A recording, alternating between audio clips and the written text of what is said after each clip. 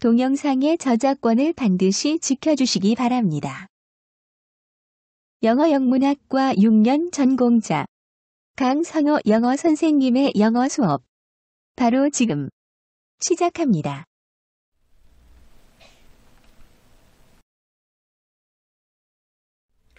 Hello everyone 여러분 안녕하세요 대원고등학교 영어 담당 지도교사 강성호 영어 선생님입니다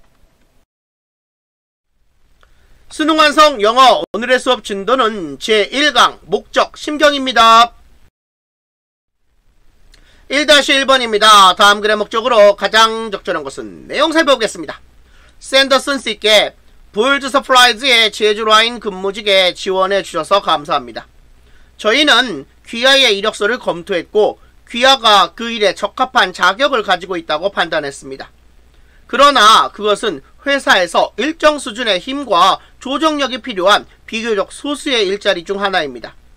적당한 양의 무게를 들어올리고 신체적으로 힘든 특정한 도구 및 기계를 작동하는 귀하의 능력을 측정할 필수 신체 능력 검사의 일정과 장소를 확인하기 위해 저희 회사 웹사이트를 방문하시기 바랍니다. 검사는 제3의 평가업체에 의해 시행될 것이며 귀하는 검사를 위해 약 1시간을 할애할 계획을 세워야 합니다. 저희 회사의 채용에 관심을 가져주셔서 다시 한번 감사드립니다. 마르다 플린 드림 이 글 1-1의 소재는 채용을 위한 신체 능력 검사 안내입니다. 회사의 제조라인 근무직에 지원한 사람에게 회사 웹사이트에 방문하여 신체 능력 검사 일정과 장소를 확인하라고 하였으므로 글의 목적으로 가장 적절한 것은 5번 직원 채용에 필요한 신체 능력 검사를 안내하려고 합니다. 따라서 1-1의 정답은 5번이 정답 되겠습니다.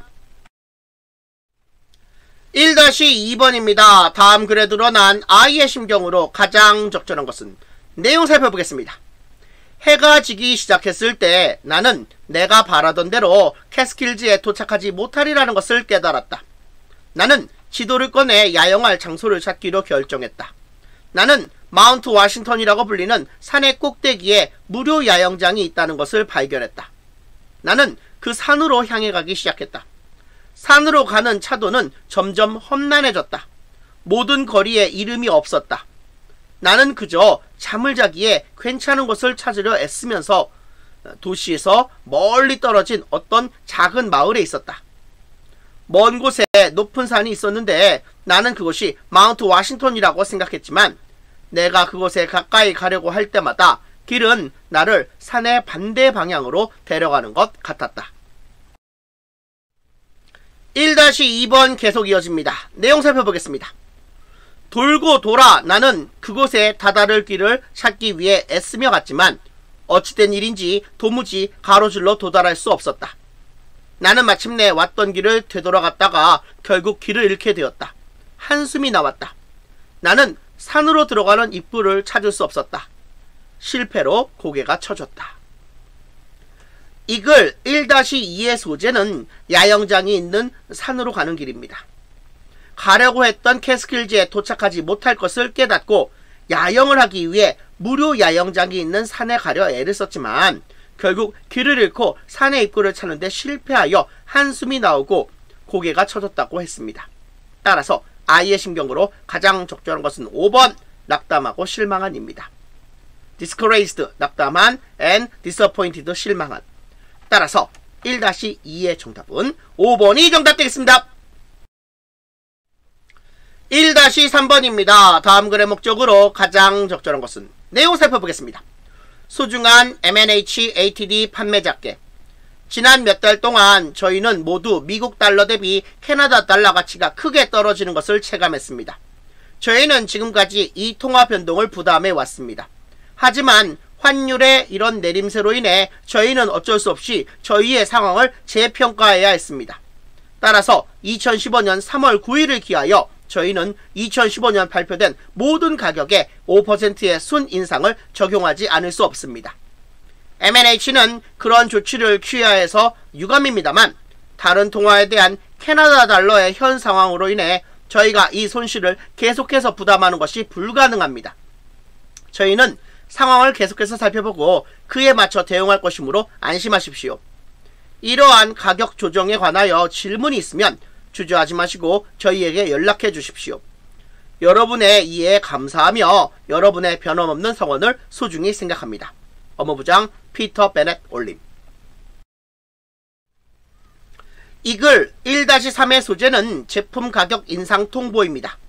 미국 달러 대비 캐나다 달러의 가치 하락으로 인하여 기존에 발표된 제품 가격을 인상하게 되었음을 알리며 이를 이해해 달라고 하고 있으므로 그의 목적으로 가장 적절한 것은 3번 환율 변동에 따른 제품 가격 인상을 통보하려고입니다. 따라서 1-3의 정답은 3번이 정답 되겠습니다. 1-4번입니다. 다음 글에 드러난 조나의 심경 변화로 가장 적절한 것은 내용 살펴보겠습니다. 조나는 자신이 감시당하고 있는 것처럼 느꼈다. 그의 목 뒷부분에 털이 쭉 폈었고 그는 재빨리 둘러보았다. 산 꼭대기에서 갑작스러운 움직임이 있는 것 같았지만 그가 숲을 응시했을 때 나무들은 꼼짝도 하지 않았다. 조나는 심호흡을 하고 머리를 흔들며 그처럼 바보같이 굴지 말라고 혼잣말을 했다. 과연 여기에서 무엇이 그를 해칠 수 있겠는가? 그는 몸을 굽혀 흠뻑 젖은 청바지를 걷어 올렸고 오른쪽에 있는 나무들 위쪽으로 또 한 번 어른거리는 움직임을 흘낏 보았다.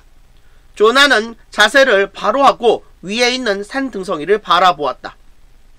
잠시 동안 아무 동요도 없었다. 그리고 그런 다음에는 있었다. 너도 밤나무들 사이로 뭔가가 빠져나가고 있었다. 조나는 몸이 뻣뻣해졌고 그러고 나서 그는 숲에서 사슴 몇 마리를 보았다. 그는 안도의 미소를 지었다. 그는 삼촌이 계곡에 사슴이 있다고 말한 것을 기억했다. 아마도 그들은 먹이를 먹기 위해 내려오곤 했을 것이다.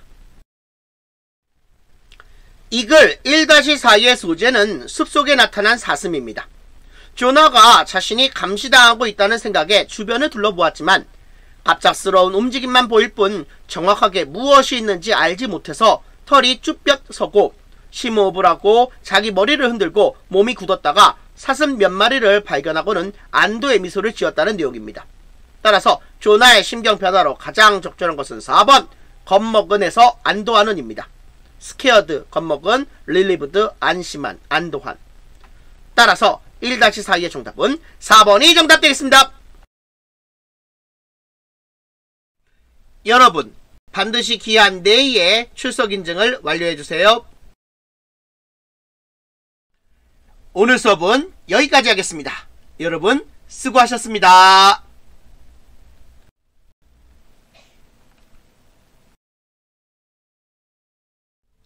Hello everyone 여러분 안녕하세요. 대원고등학교 영어 담당 지도교사 강성호 영어 선생님입니다. 수능 완성 영어 오늘의 수업 진도는 제2강 필자의 주장 글의 요지입니다. 2-1번입니다. 다음 글의 요지로 가장 적절한 것은 내용 살펴보겠습니다. 많은 사람들은 자신들이 속임수를 간파하는데 매우 능하다고 믿는다. 그들은 주변의 다른 사람들은 그렇게 예민하지 않을 때 자신들이 거짓말을 정확히 탐지해냈던 사례를 들먹이기까지 할지도 모른다. 그런 입증되지 않은 증거가 가지는 문제는 언제 거짓말을 믿는 잘못을 범하는지 알기가 어렵다는 것이다. 누군가가 거짓말하고 있다는 독립적인 증거가 이후에 있지 않다면 여러분의 판단이 틀리다는 것을 어떻게 알 것인가? 당연히 성공적인 거짓말은 간파되지 않고 그것에 대해 계속 파악하는 방법은 없다. 사실 많은 실험 전체에서 평균 간파 정확성은 우연보다 단지 조금 더 나을 뿐이다. 구체적으로 말해 50%라는 우연의 정확성의 기준점을 가지고 볼 때 평균 간파 정확성은 대략 55%이다. 게다가 판단에 있어서의 확신과 정확성 사이에는 관계가 거의 없거나 전무하다.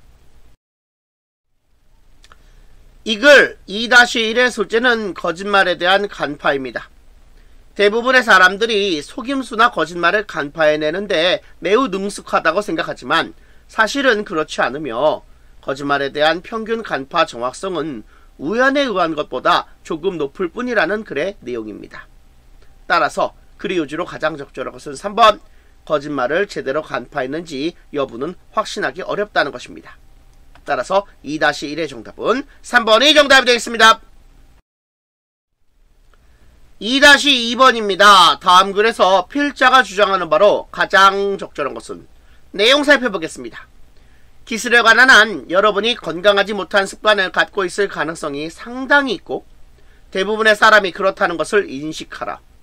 영국의 한 연구에서 부모의 60%가 자기 아이들이 화면 앞에서 너무 많은 시간을 보내는 것에 대해 걱정한 반면 아이들 중 70%는 자신의 부모가 기기를 너무 많이 사용한다고 느꼈다. 여러분은 디지털 기기를 책임있게 사용하는 본보기를 보여주어야 한다. 여러분 자신의 노력을 포함하여 기기 사용을 조절하기 위한 보편적인 노력에 대해 아이들에게 이야기하라. 여러분이나 여러분이 아는 다른 사람들에게 효과가 있었던 비법을 권해보라. 자녀가 여러분과 대화하려고 애쓰는 동안 여러분이 자신의 전화기를 확인하면 아이가 여러분을 지적할 수 있게 허락하라. 사과하라. 그들, 자녀에게 여러분이 노력하고 있다는 것을 보여주라. 우리 친구 중 한 명이 가족과 함께 휴가를 갔을 때 그녀는 남편에게 자신의 스마트폰을 어, 주어 보이지 않도록 간소해 두게 했다. 그녀는 만약 자신이 그것을 사용할 수 있다면 너무 이메일을 확인하고 싶은 마음이 들어 가족에게 집중하고 싶은 순간으로부터 자신이 벗어나리라는 것을 알고 있었다. 이 글 2-2의 소재는 부모의 디지털 기기 사용 모범 보이기입니다. 부모 스스로 자신의 디지털 기기 사용상의 문제점을 인식하고 이를 먼저 해결하려 노력하면서 이 과정에서 알게 된 내용을 자녀와 공유하고 평소 올바르게 디지털 기기를 사용하기 위해 애쓰는 모습을 자녀에게 보여주라는 내용의 글입니다. 따라서 필자가 주장하는 바로 가장 적절한 것은 4번 부모 스스로 디지털 기기를 분별 있게 사용하는 모범을 보이라는 것입니다. 그러므로 자 2-2의 정답은 4번이 정답 되겠습니다. 2-3번입니다. 다음 글의 요지로 가장 적절한 것은 내용 살펴보겠습니다. 긍정적인 태도로 하여 모든 아이디어가 훌륭한 것으로 취급되어야 한다는 것을 의미하지는 않는다. 그것은 어떤 아이디어가 가지고 있는 좋은 특징이면 무엇이든 그것을 발견하고 보여주기 위해 아이디어를 긍정적으로 탐구하는 것을 의미한다. 그 다음 단계는 아마 그 약점을 찾아내는 것일 터인데 그것은 그 아이디어를 거부하기 위한 수단으로 그 약점을 이용하기보다는 그 약점을 피하거나 강화하기 위해서이다. 마지막으로 충분히 진전된 그 아이디어가 사용되지 않을지도 모르는데 그것은 더 나은 아이디어가 있기 때문이거나 혹은 그것이 비록 좋을 수도 있지만 적합하지 않기 때문이다. 너무 자주 우리는 결국 우리가 그 아이디어에 따라 행동할 수 있게 되지 않을 것을 알기 때문에 아이디어를 처음부터 거부하기 시작해야 한다고 느낀다. 어떤 아이디어에 대해 긍정적으로 생각하고 왜 그것을 채택할 수 없는지를 마지막에 솔직하게 보여주는 것에는 아무 문제가 없다. 이글 2-3의 소재는 아이디어에 대한 긍정적인 태도입니다. 긍정적인 태도로 아이디어의 좋은 점을 발견하고 약점을 피하거나 강화하기 위해 부족한 점을 찾아 아이디어를 진전시켜야 할 것이라고 말하고 있습니다. 또한 마지막에 가서 결국 그 아이디어를 채택하지 않아도 괜찮다는 내용이 이어지고 있습니다. 따라서 글의 요지로 가장 적절한 것은 3번 아이디어를 거부하기 전에 일단 긍정적인 태도로 검토한 후 결정하는 것이 좋다입니다. 따라서 2-3의 정답은 3번이 정답이 되겠습니다. 2-4번입니다. 다음 글에서 필자가 주장하는 바로 가장 적절한 것은 내용 살펴보겠습니다. 자신의 개인 브랜드를 만드는 것은 자신의 가치, 포부, 성격, 전문 지식, 그리고 자신이 어떻게 가치를 더하는지를 명확히 하는 방법이다. 자신의 브랜드는 변화와 기회의 바다에서 다치될 수 있다. 그것은 어떤 직업이 자신에게 가장 적합하고 어떤 직업이 다른 사람에 의해 가장 잘 채워지는지 또는 어떤 종류의 프로젝트가 자신에게서 최선을 이끌어내고 어떤 것이 자신을 그저 시시하다고 느끼도록 하는지를 이해하도록 돕는다. 그것은 또한 자신을 다른 사람들과 차별화하도록 도와준다. 매년 동일한 유형의 학위, 예를 들어 경영, 교육, 공학, 법학, 심리학, 사회학, 보건학으로 졸업하는 전 세계의 수십만 명의 사람들을 생각해보라. 하기만으로 자신이 나머지와 구별될 수 있을 것으로 기대한다면 눈에 띄기 어렵다. 조직이나 분야에서 1급 비밀로 남을 필요도 없으며 자신의 관심사와 강점이 무엇인지 사람들이 추측하도록 만들 필요도 없는데 그 이유는 자신이 어디에서 어떻게 최고의 기여를 할 수 있는지를 알리는 것은 자신의 책임이기 때문이다. 이글 2-4의 소재는 개인 브랜드의 필요성입니다. 개인 브랜드를 만들므로써 어떤 직업이나 프로젝트가 자신에게 가장 적합한지를 이해하고 자신을 다른 사람과 차별화하고 눈에 띄게 하며 자신의 관심사와 강점이 무엇인지를 사람들에게 알리는 건 자기 자신의 책임이라는 내용의 글입니다. 따라서 필자가 주장하는 바로 가장 적절한 것은 2번 자신만의 특성과 강점을 명확하게 드러내 남들과 차별화해야 한다입니다. 따라서 2-4의 정답은 2번이 정답이 되겠습니다. 여러분 반드시 기한 내에 출석 인증을 완료해주세요. 오늘 수업은 여기까지 하겠습니다. 여러분 수고하셨습니다.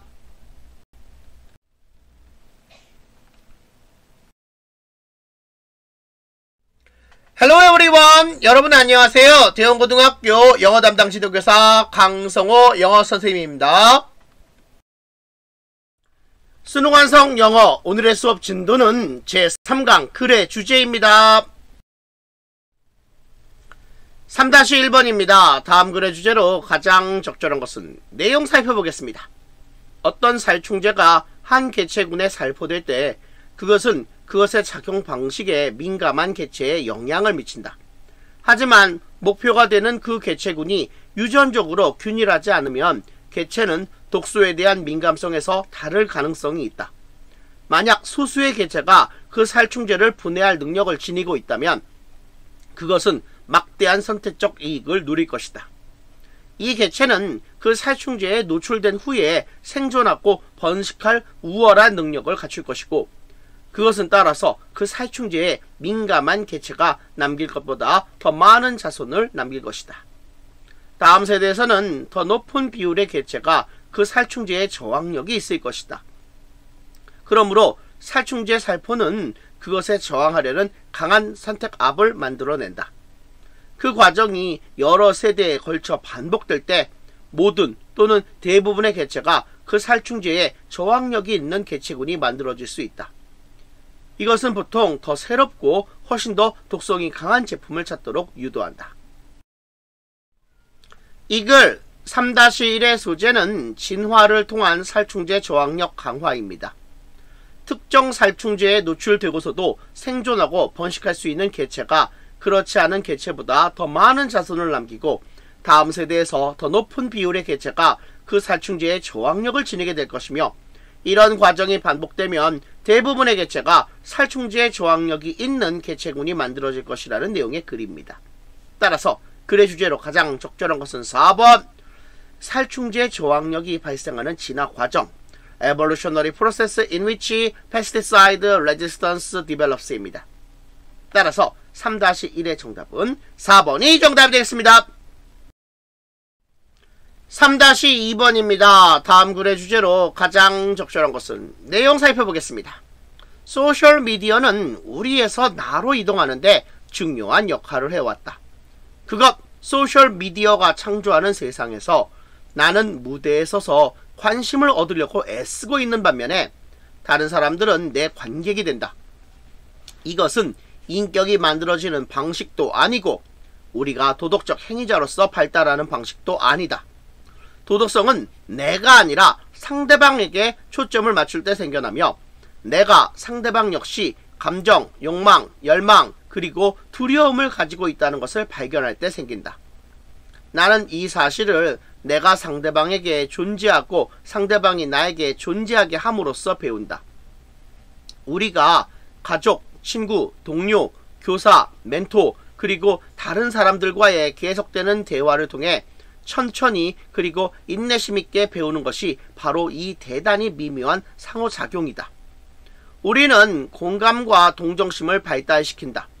우리는 친절한 행동을 받고 그런 다음 그에 보답하는 것이 무엇인지 배운다. 도덕성은 세심하게 광을 낸 이미지 아래 놓여 있는 다른 사람들의 다듬지 않은 인간적인 취약성과 관계를 맺는 것, 그리고 그 고통 일부를 치유하는 우리의 능력과 관계가 있다. 내가 나를 상대방의 입장에 둘 수 있는 능력을 개발할 때 도덕적으로 되는 것을 배우게 되며 그것은 내가 상대방과 마주보거나 나란히 관계를 맺음으로써 오직 배우는 기술이다. 이글 3-2의 소재는 도덕성 발달과 직접적 관계 맺기입니다. 도덕성은 소셜미디어와 같은 방식이 아닌 다른 사람들과 직접 만나서 상대방의 감정과 상황에 공감하고 동정심을 느끼는 직접적인 상호작용의 경험을 통해서만 발달할 수 있다는 내용의 글입니다. 글의 주제로 가장 적절한 것은 5번 도덕성을 발달시키기 위한 다른 사람들과의 직접적인 관계 맺기의 필요성 The need for direct engagement with others to develop morality입니다. 따라서 3-2의 정답은 5번이 정답이 되겠습니다. 3-3번입니다. 다음 글의 주제로 가장 적절한 것은 내용 살펴보겠습니다. 자연 선택은 동물이 자신의 생명을 위태롭게 해야 할 필요 없이 자신의 권리를 방어할 수 있게 해주는 시스템을 뒷받침해 왔다. 하나의 시스템에서 동물들은 서식지에 사용 가능한 공간을 영역으로 나눈다. 각 영역 소유자는 시각적 표시, 냄새, 자취 또는 소리로 자신의 소유권을 알리고 침입자를 막기 위해 영역의 경계 지역을 순찰한다. 이웃하는 소유권 보유 동물이 가끔 담장 라인에서 대결할 준비를 할 수도 있지만 그때에도 그것들은 자기 쪽에 머무는 것을 선호한다.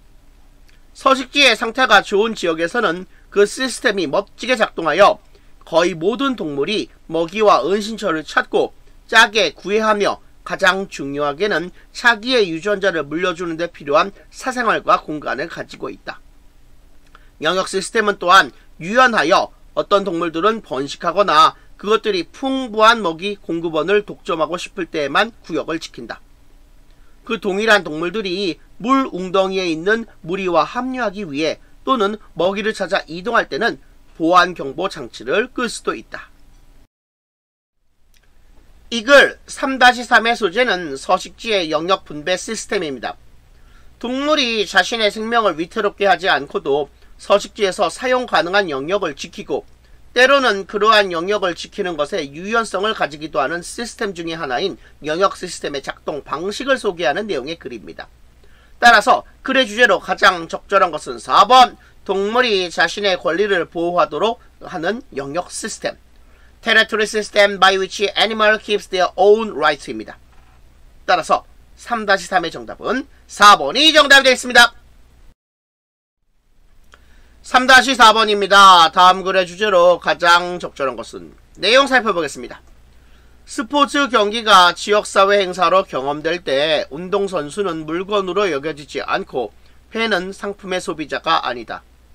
대신 운동선수와 팬은 결코 되풀이되지 않을 독특한 경험의 일부로 그들을 연결하는 시간상의 한순간을 경험하기 위해 한데 모인다. 초인적인 눈부신 기량을 펼치는 선수들의 감정과 신화는 이런 식으로 경험되면 그들이 남을 즐겁게 해주는 사람으로 대접받거나 소비를 위해 팬에게 선물되는 물건으로 대접받을 경우 못지않게 강렬하다. 그러나 이런 방식에서 선수와 팬 사이의 유대감은 더 단단해지고 그 기억은 더 깊어진다. 52년 전 브루클린 다저스가 자치구를 떠났음에도 불구하고 여전히 브루클린 시민들의 마음속에 굳게 간직되어 있는 이유가 있고 제리 웨스트, 샘 허프, 메이저 해리스, 데릴 털리 그리고 팻 화이트가 웨스트 버지니아에서 전설적인 이유가 있다. 그들은 모두 소비자 경험이 아니라 공동체 경험의 일부분이다. 이글 3-4의 소재는 지역사회 행사로서의 스포츠 경기입니다. 스포츠 경기가 지역사회 행사로 여겨질 때그 경험은 선수와 팬 모두에게 강렬하고 그들 사이의 유대감은 더욱 커진다는 내용의 글입니다. 따라서 글의 주제로 가장 적절한 것은 1번 스포츠 경기가 지역사회 행사로 인식되는 것의 영향 Effects of Sports Being Perceived as a Community Event입니다.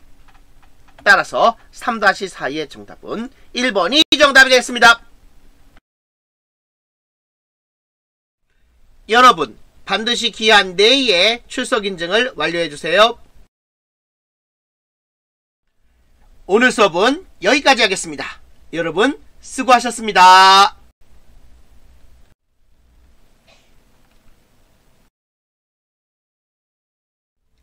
Hello everyone 여러분 안녕하세요. 대원고등학교 영어 담당 지도교사 강성호 영어 선생님입니다. 수능 완성 영어 오늘의 수업 진도는 제4강 글의 제목입니다. 4-1번입니다. 다음 글의 제목으로 가장 적절한 것은 내용 살펴보겠습니다. 영국에서는 주택 거주자의 40%에서 50%가 자신의 정원에서 새에게 먹이를 주는데 매년 어림잡아 5만에서 6만 톤의 새 먹이를 준다. 겨울에 먹이를 공급하면 그때는 자연 먹이가 부족할 수도 있어서 새가 먹이 부족을 이기고 살아남을 수 있지만 연중 먹이를 주는 것이 새에게 긍정적인 영향을 미칠지 부정적인 영향을 미칠지는 확실치 않다.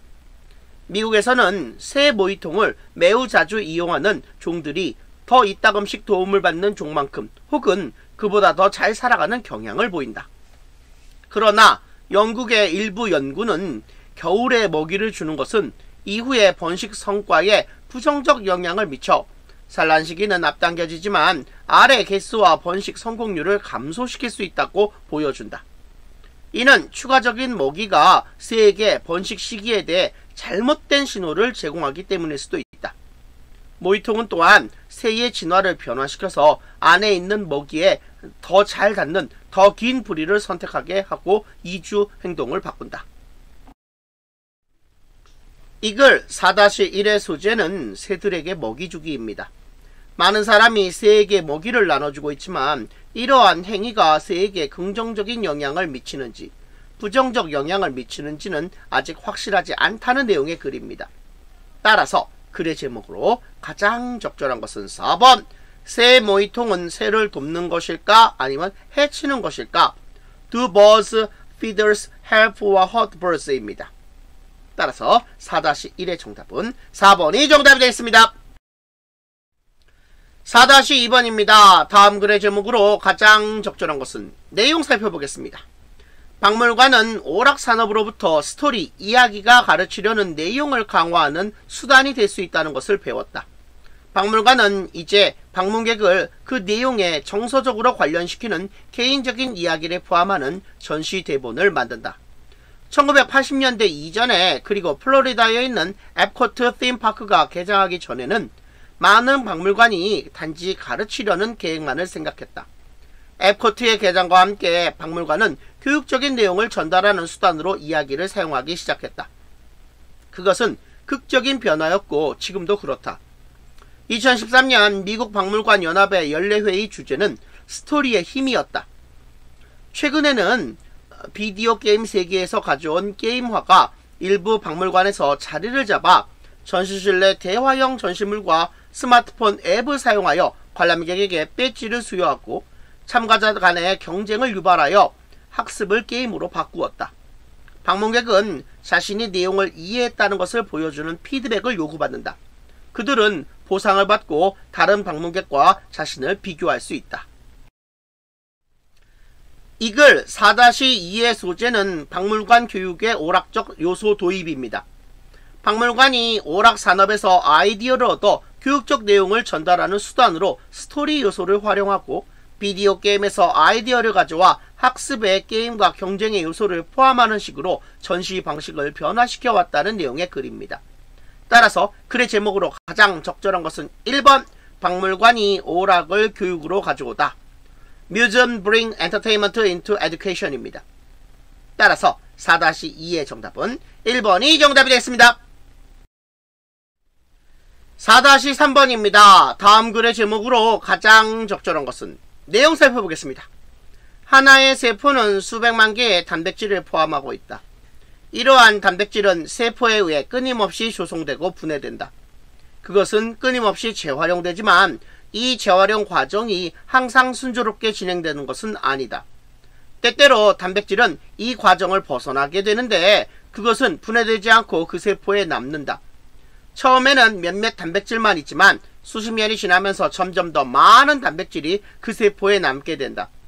그것은 또한 함께 무리를 이루는 경향이 있어서 분해되지 않는 단백질 덩어리들이 결국 그 세포를 가득 채운다. 시간이 지날수록 우리의 세포는 결집된 단백질로 가득 차서 더 이상 기능을 잘 하지 못한다. 그로 인해 그것은 노화하게 된다. 심장세포는 더 이상 제대로 수축하지 않고 신경세포는 신호를 효율적으로 전달하지 않으며 소화세포는 예전에 그랬던 것만큼 음식을 잘 흡수하지 않는다. 마침내 많은 세포가 단백질의 그물 속에 질식하여 그냥 죽고 만다. 이글 4-3의 소재는 세포 속 단백질과 노화입니다. 세포 속 단백질이 재활용되는 과정에서 단백질 일부가 세포에 남게 되는데 시간이 지나면서 점점 더 많은 단백질이 남고 무리를 이룬 덩어리가 세포를 가득 채우게 되면 세포가 결국 노화 상태에 이르게 된다는 내용의 글입니다. 따라서 글의 제목으로 가장 적절한 것은 4번 세포 속 단백질은 어떻게 그것의 노화의 원인이 되는가 How proteins in cells contribute to their aging입니다. 따라서 4-3의 정답은 4번이 정답이 되겠습니다. 4-4번입니다. 다음 글의 제목으로 가장 적절한 것은 내용 살펴보겠습니다. 여러분은 식물이 자신이 먹히고 있을 때를 안다는 것을 알았는가? 음, 최근의 연구가 밝혀내고 있는 것처럼 식물은 알지만 그냥 그곳에 앉아서 자신의 운명을 받아들이지는 않는다. 식물은 그 포식자를 멈추기 위한 노력으로 자신을 방어하기 위하여 병력을 배치한다. 이 경우에 그 연구 대상은 양배추과에 속하는 애기장대라고 불리는 식물이었다. 애기장대는 유전체의 배열 순서가 밝혀진 최초의 식물이었기에 연구자들은 그것의 내적 활동을 대부분의 다른 식물보다 더 잘 이해하고 있다. 식물이 먹히고 있다는 것을 인지하고 있었는지를 알아내기 위해서 그 과학자들은 애벌레가 잎을 먹을 때 내는 진동을 재현했다. 그들은 또한 바람이 부는 진동과 같은 그 식물이 경험했을 다른 진동도 녹음했다. 예상대로 애기장 때는 포식자들을 저지하기 위해서 약하게 독성이 있는 겨자 기름의 생산을 늘려 그것을 입으로 전달함으로써 우적우적 먹어대는 애벌레를 흉내내는 진동에 반응했다. 이 식물은 바람이나 다른 진동에는 반응을 보이지 않았다. 이글 4-4의 소재는 식물이 포식자로부터 자신을 방어하는 방법입니다. 식물이 포식자에 의해서 먹힐 때 아무것도 하지 않고 그대로 당하는 것이 아니라 포식자를 저지하고 자신을 방어하기 위해서 무언가 조치를 한다는 내용의 글입니다. 따라서 글의 제목으로 가장 적절한 것은 3번 식물은 포식자에 맞서 자신을 방어한다. Plants defend themselves against predators입니다. 따라서 4-4의 정답은 3번이 정답이 되겠습니다. 여러분 반드시 기한 내에 출석 인증을 완료해 주세요. 오늘 수업은 여기까지 하겠습니다. 여러분 수고하셨습니다.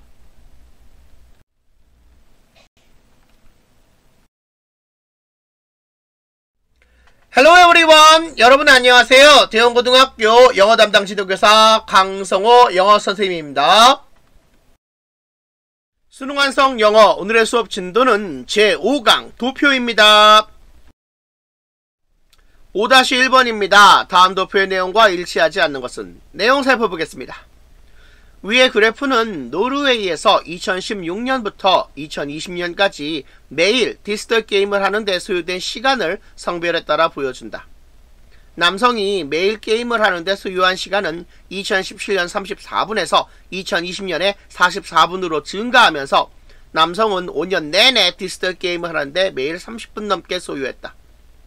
여성은 2016년에 디지털 게임을 하는데 매일 28분을 소요했지만 다음 해에는 매일 게임을 하는데 소요한 시간이 그 수치의 딱 절반으로 떨어졌다.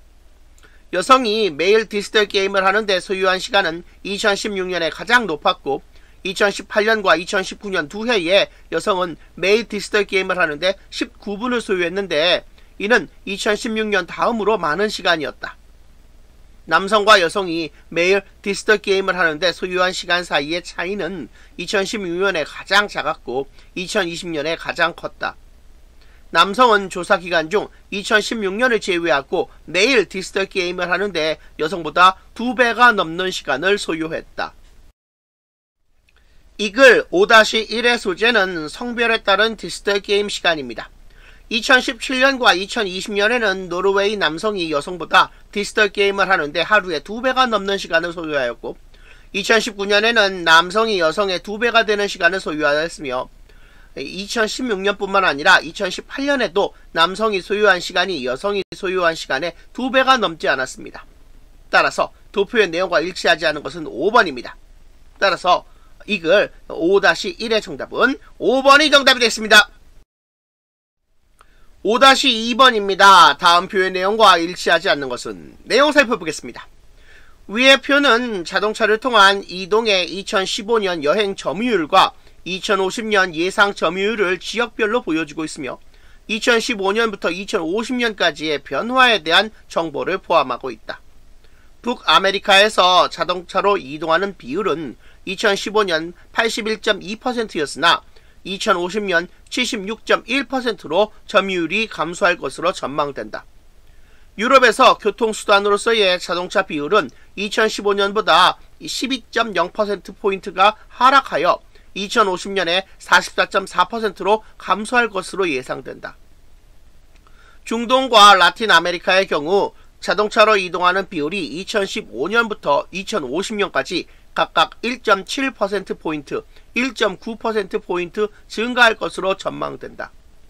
아시아에서의 자동차를 통한 이동 비율은 2015년에 28.3%에 불과했던 것에서 12.0%포인트 상승하여 2050년에는 40% 넘게 증가할 것으로 예상된다. 2015년 아프리카에서 자동차로 이동한 비율은 라틴 아메리카의 절반에도 못 미쳤지만 2050년에는 아프리카에서의 비율이 라틴 아메리카의 비율보다 더 많아질 것으로 전망된다. 이 글 5-2의 소재는 자동차를 통한 이동의 지역별 점유율 변화입니다.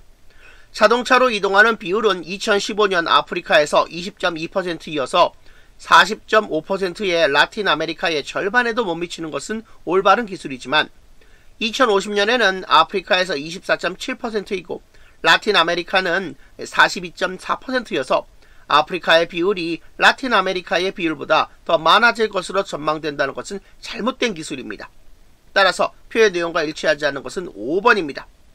따라서 이 글 5-2의 정답은 5번이 정답이 됐습니다. 5-3번입니다. 다음 도표의 내용과 일치하지 않는 것은 내용 살펴보겠습니다. 위의 그래프는 미국에서 2017년과 2020년 사이에 의료 소비자가 정보 보안을 유지함에 있어서 의료 서비스 제공자를 신뢰하는 정도가 어떻게 변화했는지 보여준다. 그래프가 다루고 있는 3년 동안 80%가 넘는 의료 소비자가 자신의 전문 의료진을 신뢰했다. 2019년 자신의 전문 의료진을 신뢰한다고 말한 어, 소비자의 비율은 2017년의 비율과 겨우 1%포인트 차이가 났다. 2020년에는 자신의 전문 의료진을 신뢰하지 않는 소비자의 비율이 2019년의 비율보다 더 컸지만 자신의 전문 의료진에 대해 매우 많이 신뢰한다고 응답한 소비자의 비율은 2017년의 비율의 2배가 넘었다. 전문 의료진에 대한 신뢰도의 비율과 달리 2019년과 2020년 각각 기술 기업에 대한 신뢰도의 비율은 50%를 넘지 않았다. 더욱이 2017년부터 2020년까지 기술 기업을 전혀 신뢰할 수 없다고 말한 소비자의 비율이 두 배가 넘었다는 것도 주목할 가치가 있다. 이글 5-3의 소재는 의료 서비스 제공자에 대한 소비자 신뢰도입니다. 자신의 전문 의료진을 매우 많이 신뢰한다고 응답한 소비자의 비율은 2020년에 49%이고 2017년에는 36%이므로 전자는 후자의 두 배에 미치지 못합니다. 따라서 도표의 내용과 일치하지 않는 것은 3번입니다. 따라서 5-3의 정답은 3번이 정답이 되겠습니다. 5-4번입니다. 다음 도표의 내용과 일치하지 않는 것은 내용 살펴보겠습니다. 위의 그래프는 2018년 한 달에 한 번 넘게 전통 매체나 온라인 매체를 읽거나 이용한 한국 학생 비율을 보여준다. 한국 학생 사이에 가장 인기 있는 두 가지 전통적인 매체 유형은 만화책과 소설이었지만 그것들을 읽은 학생의 비율은 어느 쪽도 50%를 넘지 않았다. 다른 전통 매체 유형에 있어서 더 많은 한국 학생이 신문이나 잡지보다 넌픽션을 읽었다. 온라인 매체의 경우 메시지 서비스를 이용한 학생의 비율은 93.8%였는데 이는 이메일을 이용한 학생 비율의 두배가 넘었다. 온라인 뉴스는 실용적인 정보를 담고 있는 웹사이트보다 더 많은 한국 학생에 의해 읽히거나 이용되었다.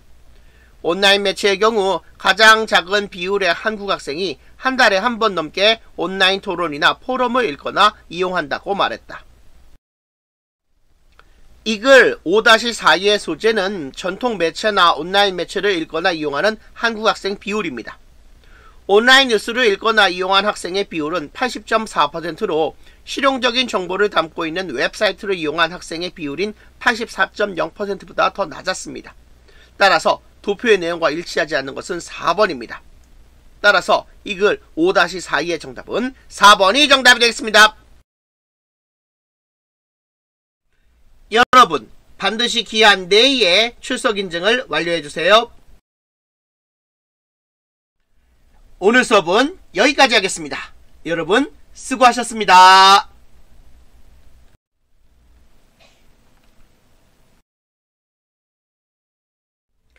Hello everyone 여러분 안녕하세요. 대원고등학교 영어 담당 지도교사 강성호 영어 선생님입니다. 수능 완성 영어 오늘의 수업 진도는 제6강 세부 내용 파악입니다. 6-1입니다. spotted eagle ray에 관한 다음 글의 내용과 일치하지 않는 것은 내용 살펴보겠습니다. 얼룩매 가오리는 지구 전역의 산호초와 수심이 얕은 열대 지역 바다에서 발견될 수 있는 멋진 물고기이다. 그것은 둥근 모양이 아니라 다이아몬드 모양에 더 가까운 몸 모양으로 매우 각이져 있다. 너비가 길이보다 두 배 넓을 수도 있으며 꼬리는 온전하다면 매우 길 수 있다. 그것들은 대집단으로 떼를 지어 연안에서 멀리 떨어진 바다를 횡단하며 물속을 어, 날고 때로는 추격을 피해 완전히 공중으로 뛰어오르기도 한다.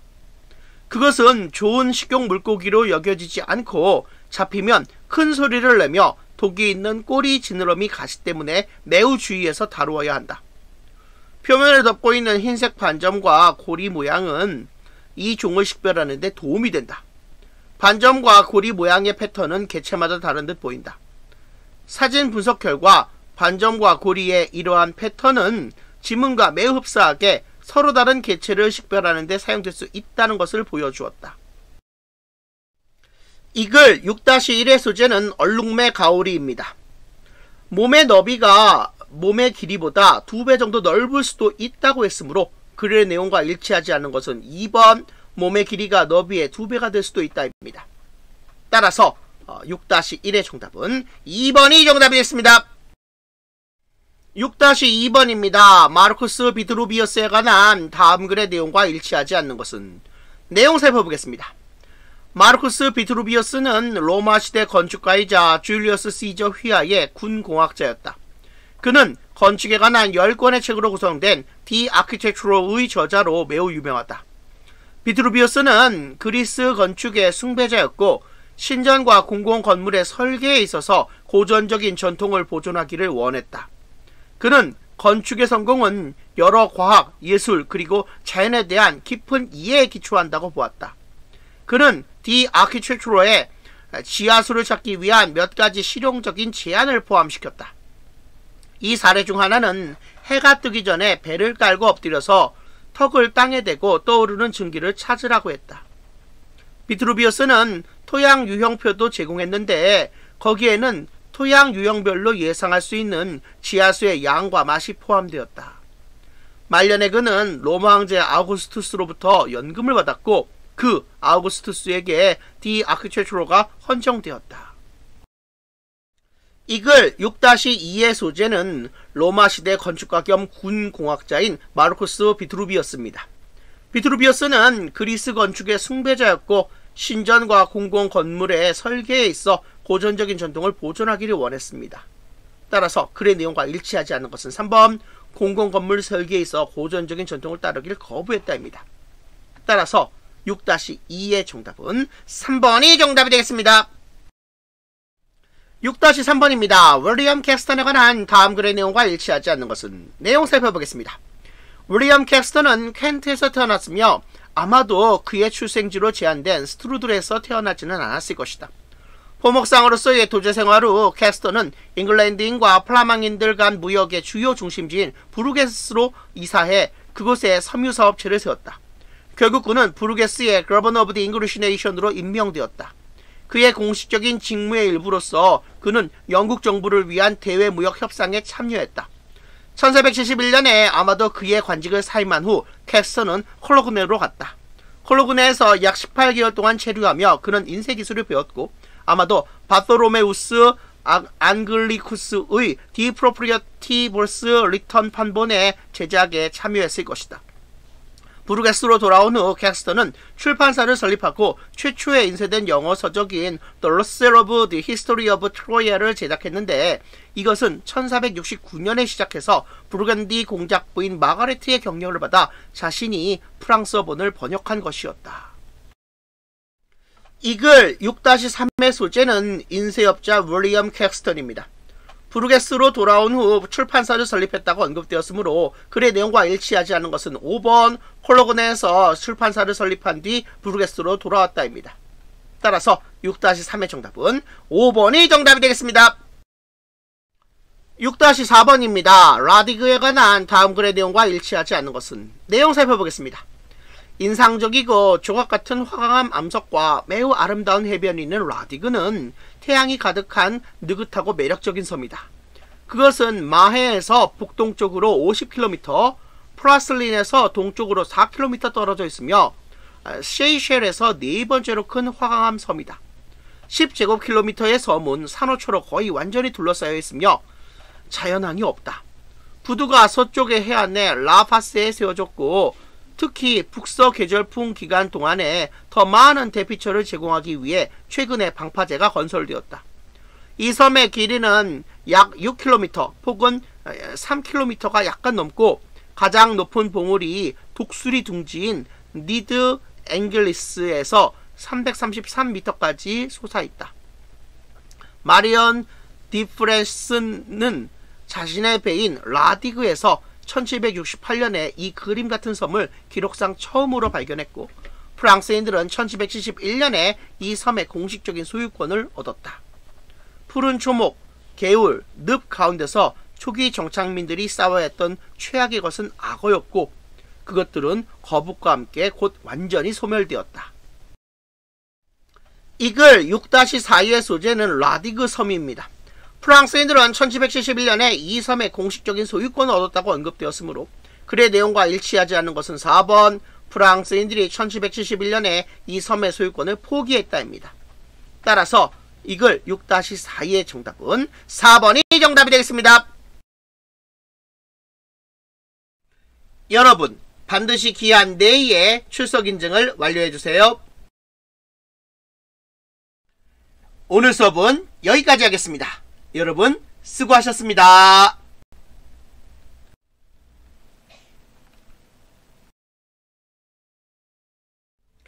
Hello everyone 여러분 안녕하세요. 대원고등학교 영어 담당 지도교사 강성호 영어 선생님입니다.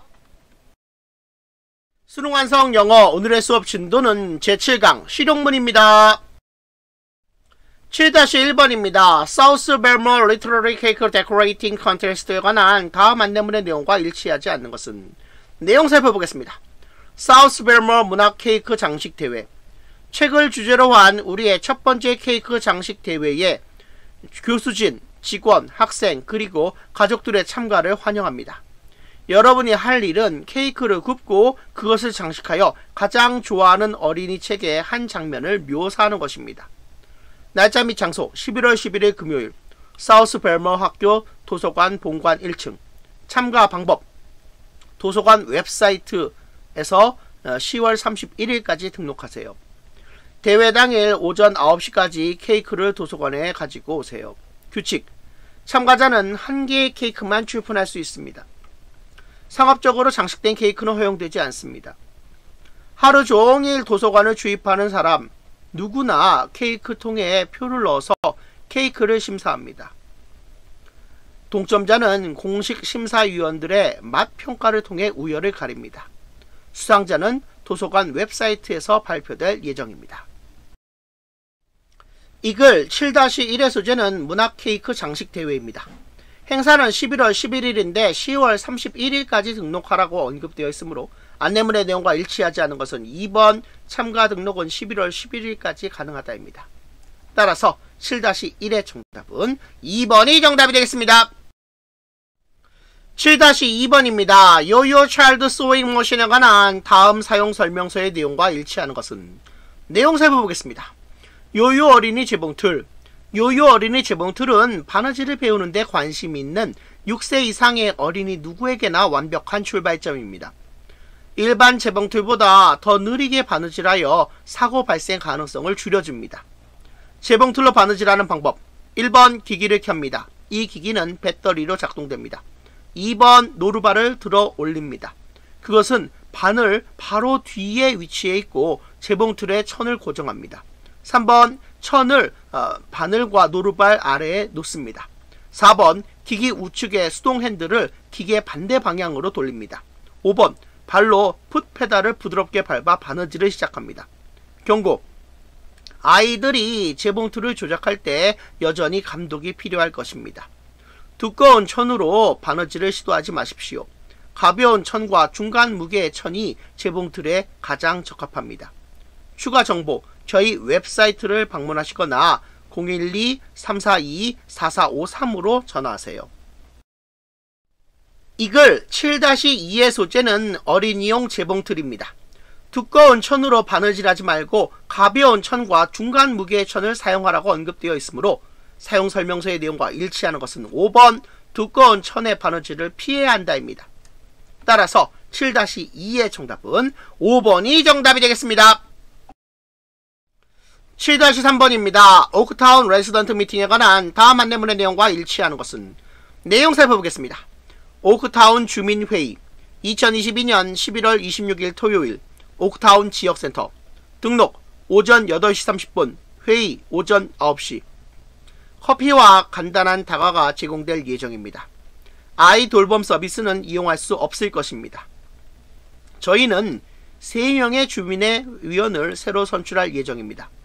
추천된 후보들의 양력은 우리 지역 웹사이트에서 찾아보실 수 있습니다. 선거가 유효하려면 최소한 90표가 필요할 것입니다. 참석하실 수 없으시면 여러분을 대신해 투표할 수 있도록 신뢰하는 분에게 어, 서명된 허가서를 주시기 바랍니다. 허가서 양식은 우리 지역 웹사이트에서 다운로드 하실 수 있습니다.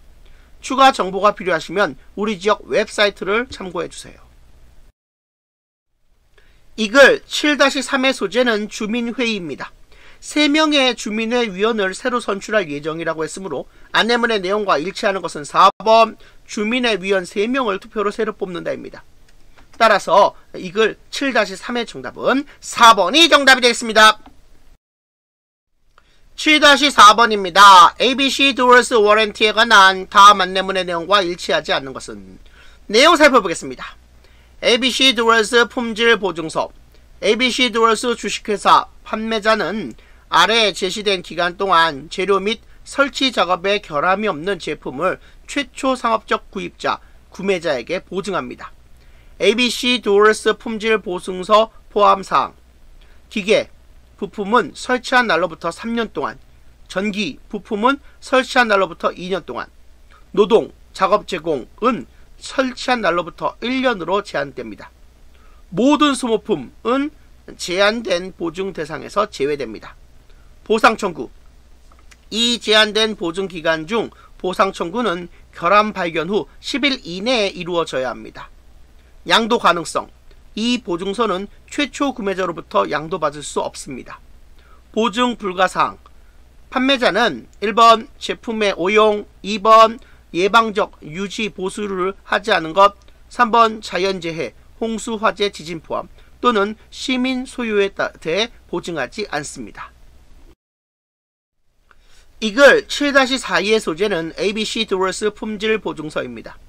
보증서를 최초 구매자로부터 양도받을 수 없다는 내용은 제품의 소유주가 바뀌는 경우 보증서가 바뀐 소유자에게 양도될 수 없음을 의미하므로 안내문의 내용과 일치하지 않은 것은 4번 제품의 소유주가 바뀌면 보증서는 바뀐 소유주에게 양도된다입니다. 따라서 7-4의 정답은 4번이 정답이 되겠습니다. 여러분 반드시 기한 내에 출석 인증을 완료해 주세요. 오늘 수업은 여기까지 하겠습니다. 여러분 수고하셨습니다.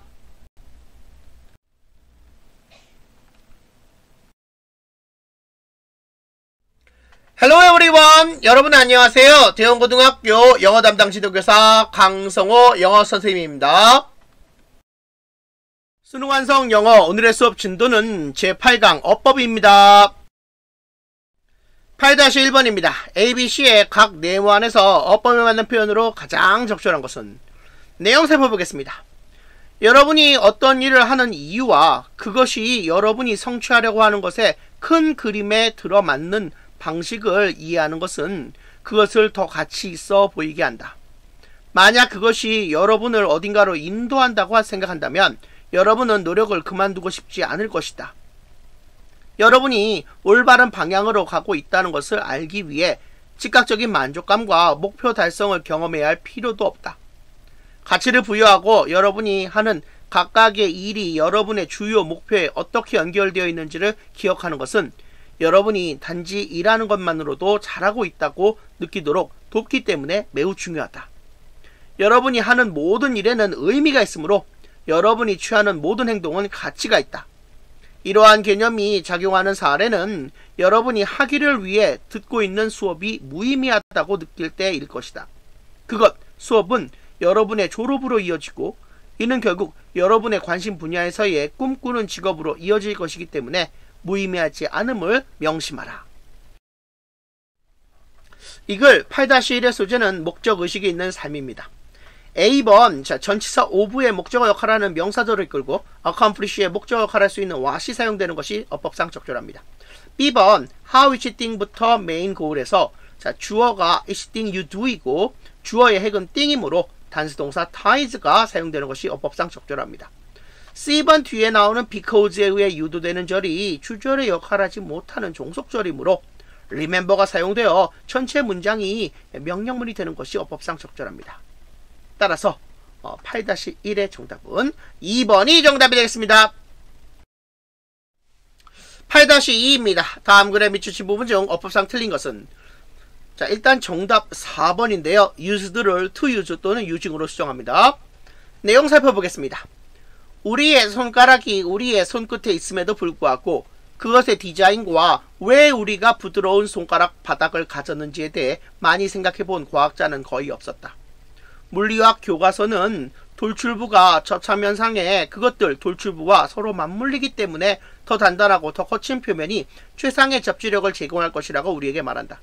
그러나 여러분이 붙잡으려는 접착면이 매끄럽다면 이는 명백히 사실이 아니다. 징을 박은 부츠가 매끄러운 바위를 가로질러 얼마나 쉽게 미끄러지는지 생각해보라. 직관과 반대로 매끄러운 표면을 더 잘 붙잡을 수 있는 비결은 발톱과 같은 단단한 물질을 사용하는 것이 아니라 피부와 같은 부드러운 물질을 사용하는 것이다. 이렇게 하면 부드러운 물질이 다른 표면의 모양에 맞게 변형됐고 따라서 넓은 면적이 접촉되어 두 표면 사이에 원자 간 힘이 극대화되기 때문에 마찰이 증가된다. 물질이 부드러울수록 그것은 더 많이 변형될 수 있고 접촉 면적이 더 넓어질 수 있다. 이글 8-2의 소재는 손가락 바닥이 부드러운 이유입니다. 4번에 수로동사 is 뒤에 나오는 부분은 주격보호로서 뭐뭐 하는 것이라는 의미를 가져야 하므로 used를 to use 또는 using으로 고쳐야 합니다. 따라서 8-2의 정답은 4번이 정답이 되겠습니다.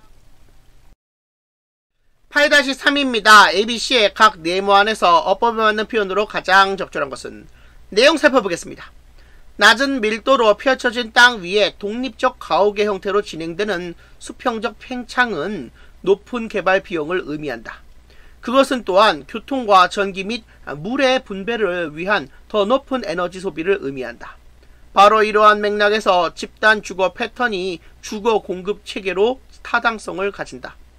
그러한 패턴은 땅과 공동 서비스 설비 및 생활 편의 시설을 공유하여 수평적으로 뿐만 아니라 수직적으로도 연결된 구조로 주거 단위를 건설함으로써 더 집약적인 땅의 활용을 가능하게 한다. 집단 주거에 대한 수용이 증가할 것이라 예측하는 단연코 가장 중요한 이유는 하층에서 중간 계층까지의 사람들이 개별적으로 집을 짓기가 점점 더 어려워지고 있기 때문이다. 이것은 도시 지역에서 더 좋은 일자리를 구하는 야심 있는 일련의 사람들이 이룬 집단에도 해당된다. 그것은 특별한 고려를 받지만 도시 상황, 미미한 소득 수준, 그리고 이러한 집단의 소비 양상에 의해 영향을 받는 중요한 결정 요인이다. 이글 8-3의 소재는 집단 주거의 패턴입니다. A번 it is that 강조 구문으로 in this context가 강조되어 있으므로 it을 쓰는 것이 어법상 적절합니다. B번 서치 패턴즈가 더욱 집약적인 땅의 활용을 가능하게 만드는 행위의 주체이므로 능동형의 수로동사 make를 쓰는 것이 어법상 적절합니다. 그 뒤에서는 어, 목적어가 길어서 목적격 보호 뒤에 목적어가 놓인 구조를 취하게 된 것입니다. C번 문맥상 for low to middle class people을 의미상의 주어로 하여 the increasing difficulty를 수식하는 투부 정사 구를 이루어야 하기 때문에 to build를 쓰는 것이 어법상 적절합니다. 따라서 어, 이글 8-3의 정답은 3번이 정답이 되겠습니다. 8-4번입니다. 다음 글에 밑주친 부분 중 어법상 틀린 것은 자 4번의 도우를 spite of로 수정하겠습니다. 정답은 4번이죠. 내용 살펴보겠습니다. 몇몇 위기들은 그에 의거하여 행동이 이루어지지 않는데 그 이유는 관련된 이해 당사자들이 자신들의 어려운 상황에 대한 관심을 불러일으키지 못하기 때문이다. 그들은 자신들이 관심을 가진 문제를 다른 사람들이 위험의 본질을 이해하고 공감하며 긴급성을 느끼고 그에 따라 행동할 수 있는 그러한 말로 구성하지 못한다. 2003년 10월 UN 식량농업기구는 비정상적인 강우가 북아프리카의 아틀라스 산맥 능선에 메뚜기의 이상적인 번식지를 만들었다고 경고했다. 그에 따른 아무런 행동도 일어나지 않았으며 위기는 예견된 대로 전개되었다. 2004년 여름 메뚜기 떼가 아프리카의 북서부에 몰려들었고 소농들의 생계수단을 파괴했다. 명확하게 전달된 정확한 경고에도 불구하고 방지할 수 있었던 위기가 그 지역에 막대한 손해를 끼치도록 방치되었다. 이와 유사하게 2004년 12월에 쓰나미가 기록된 역사상 가장 거대한 자연재해를 촉발하고 나서야 인도양 지역의 정책 결정자들은 태평양 지역에서 이미 작동하고 있던 것과 유사한 조기 경보 체제를 설치하기로 결정했는데 그것은 아마도 제때 실행되었다면 수많은 생명을 살 수도 있었을 것이다. 이글 8-4의 소재는 재난 예방의 실패 원인입니다. 4번 그 뒤에 명사구인 clearly communicated and accurate warnings가 이어지므로 접속사인 도우를 쓰는 것은 적절하지 않고 전치사구인 in spite of와 같은 것으로 바꿨어야 어법에 맞습니다. 따라서 8-4의 정답은 4번이 정답이 되겠습니다. 여러분 반드시 기한 내에 출석 인증을 완료해 주세요. 오늘 수업은 여기까지 하겠습니다. 여러분 수고하셨습니다.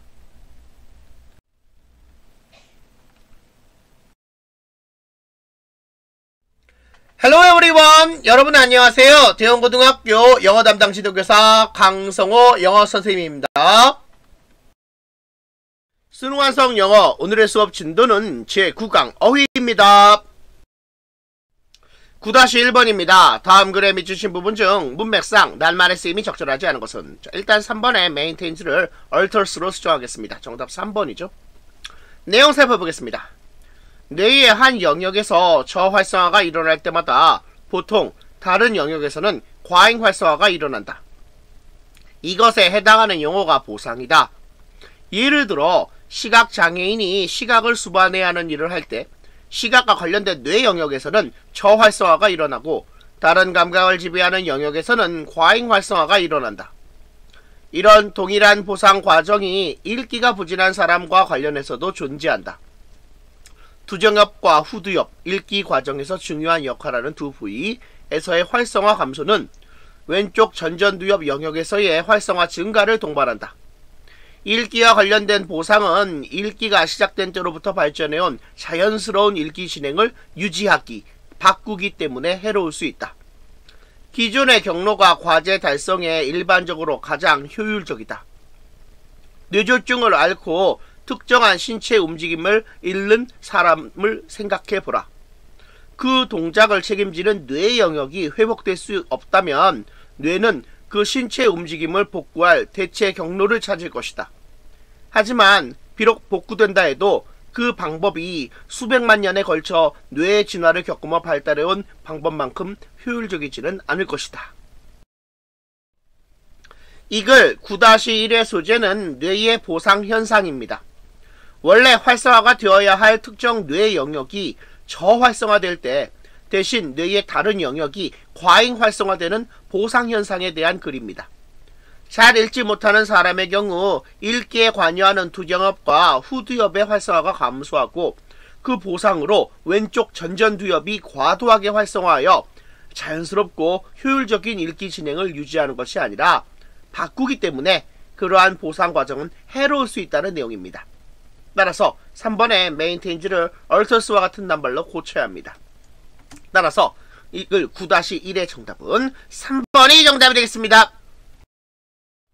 9-2번입니다. ABC의 각 네모 안에서 문맥에 맞는 단말로 가장 적절한 것은 내용 살펴보겠습니다.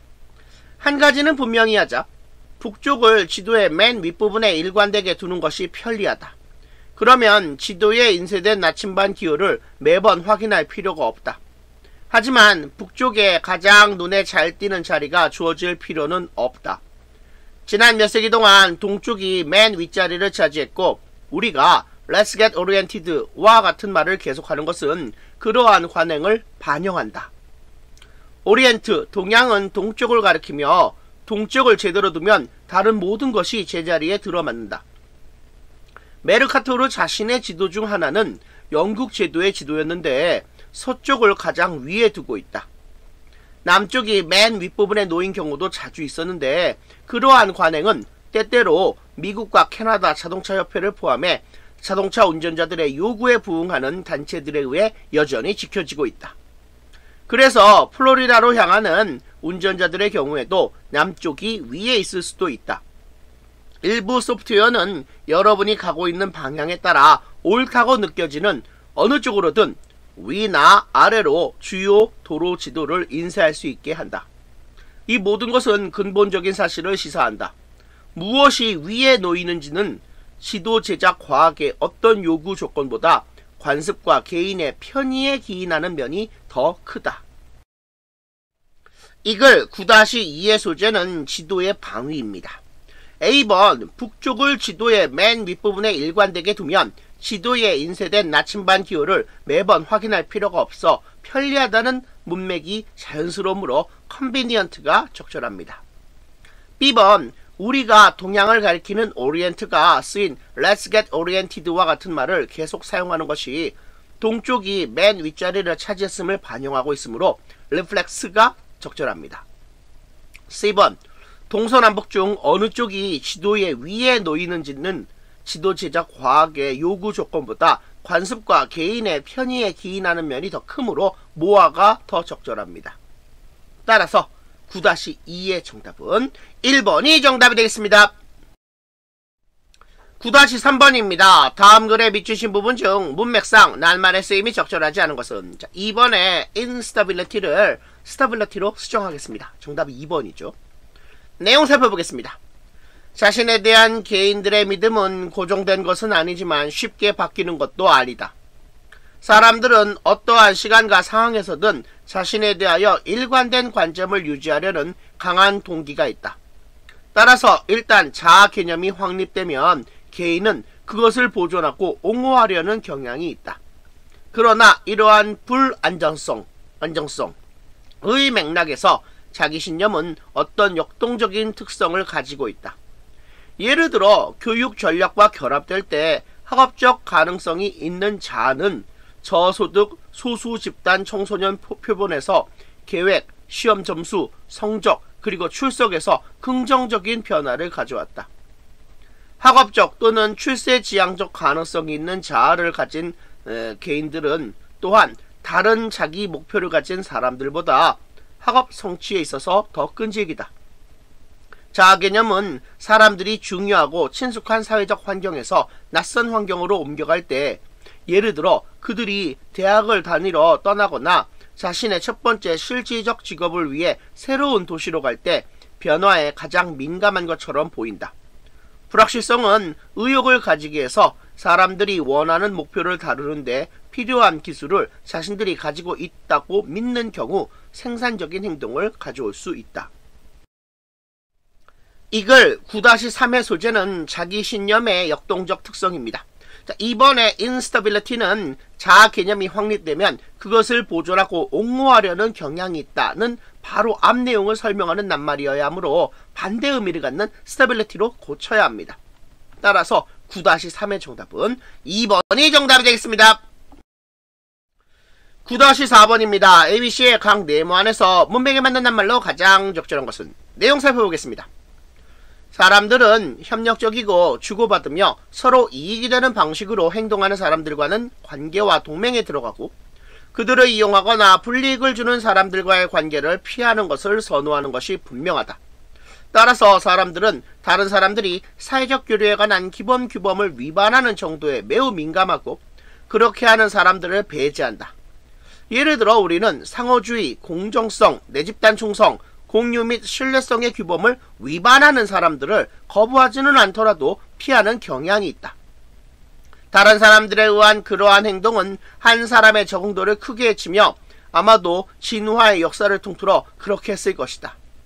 결과적으로 사람들은 다른 사람들의 불공정하고 이기적이고 부정직하고 그 외에 불리한 행동을 감시하고 그것에 대응하는 것을 돕는 적응력을 가질 수도 있다. 다른 경우라면 평범할 그 어떤 성인도 이용당하거나 배신당하거나 부당하거나 이기적으로 대우받는 것에 무관심하지 않다는 사실은 그러한 우려가 인간 본성의 일부라는 것을 암시한다. 이글 9-4의 소재는 사회적 규범 위반자에 대한 회피입니다.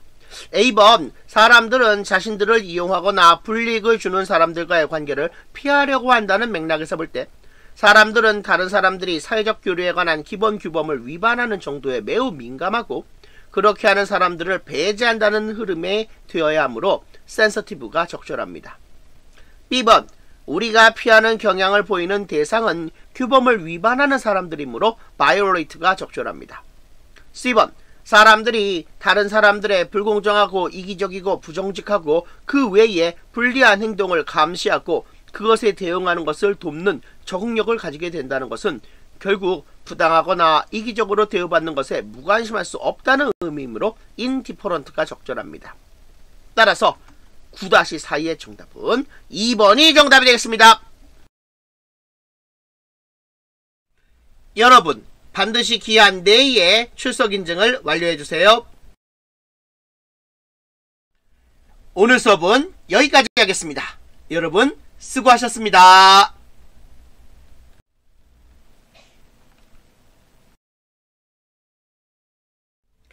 Hello everyone 여러분 안녕하세요 대원고등학교 영어 담당 지도교사 강성호 영어 선생님입니다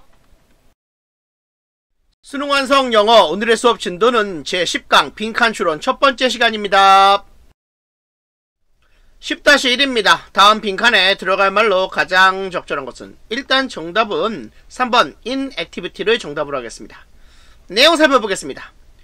휴식을 취하고 빈둥거릴 수 있을 때 우리는 자신에 대한 새로운 것들을 알게 되거나 일에 집중했을 때라면 결코 떠오르지 않았을 굉장한 통찰력을 얻을 수 있다.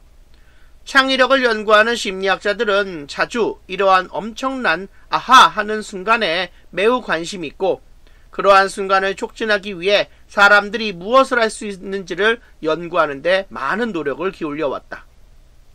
빈둥거림이 그 순간에 도달하는데 가장 효과적인 단계 중 하나라는 것이 밝혀지고 있다. 통찰력과 창의력의 순간은 그것들을 강요하려고 하는 것에 의해 나오는 것이 아니다. 그것은 정신적인 무활동의 기간을 필요로 한다. 훌륭한 아이디어는 우리가 샤워를 하거나 여유로운 산책을 할 때처럼 그것을 생각해내려고 노력하는 것을 중단하게 될 때 자주 우리에게 나타난다. 이러한 아이디어가 뜬금없이 나타난 것처럼 보이지만 사실은 우리의 마음이 우리의 휴식 시간 동안 조용하게 무의식적으로 그것을 발전시켜 왔던 것이다. 이글 10-1의 소재는 통찰력의 창의력이 나타나는 순간입니다. 훌륭한 아이디어는 그것을 생각해내려고 노력하는 것을 중단하게 될 때 자주 나타난다는 내용의 글입니다. 이러한 상태는 우리가 휴식을 취하고 빈둥거리는 정신적인 무활동 상태입니다. 따라서 빈칸에 들어가면로 가장 적절한 것은 3번 무활동 inactivity입니다. 따라서 10-1의 어, 정답은 3번이 정답이 되겠습니다. 10-2번입니다. 다음 빈칸에 들어갈 말로 가장 적절한 것은 일단 정답은 5번 컴프로마이즈를 정답으로 하겠습니다. 내용 살펴보겠습니다. 모든 설계는 선택을 수반하고 서로 경쟁하는 제약을 만족시키는 선택이 자주 이루어져야 한다. 집 옆에 토지 경계선으로부터 차 한 대의 너비만 있는 두 대의 차를 넣을 어, 연결된 차고를 짓는 것은 양립할 수 없어 보이는 제약이 있는 설계상의 문제를 제시한다.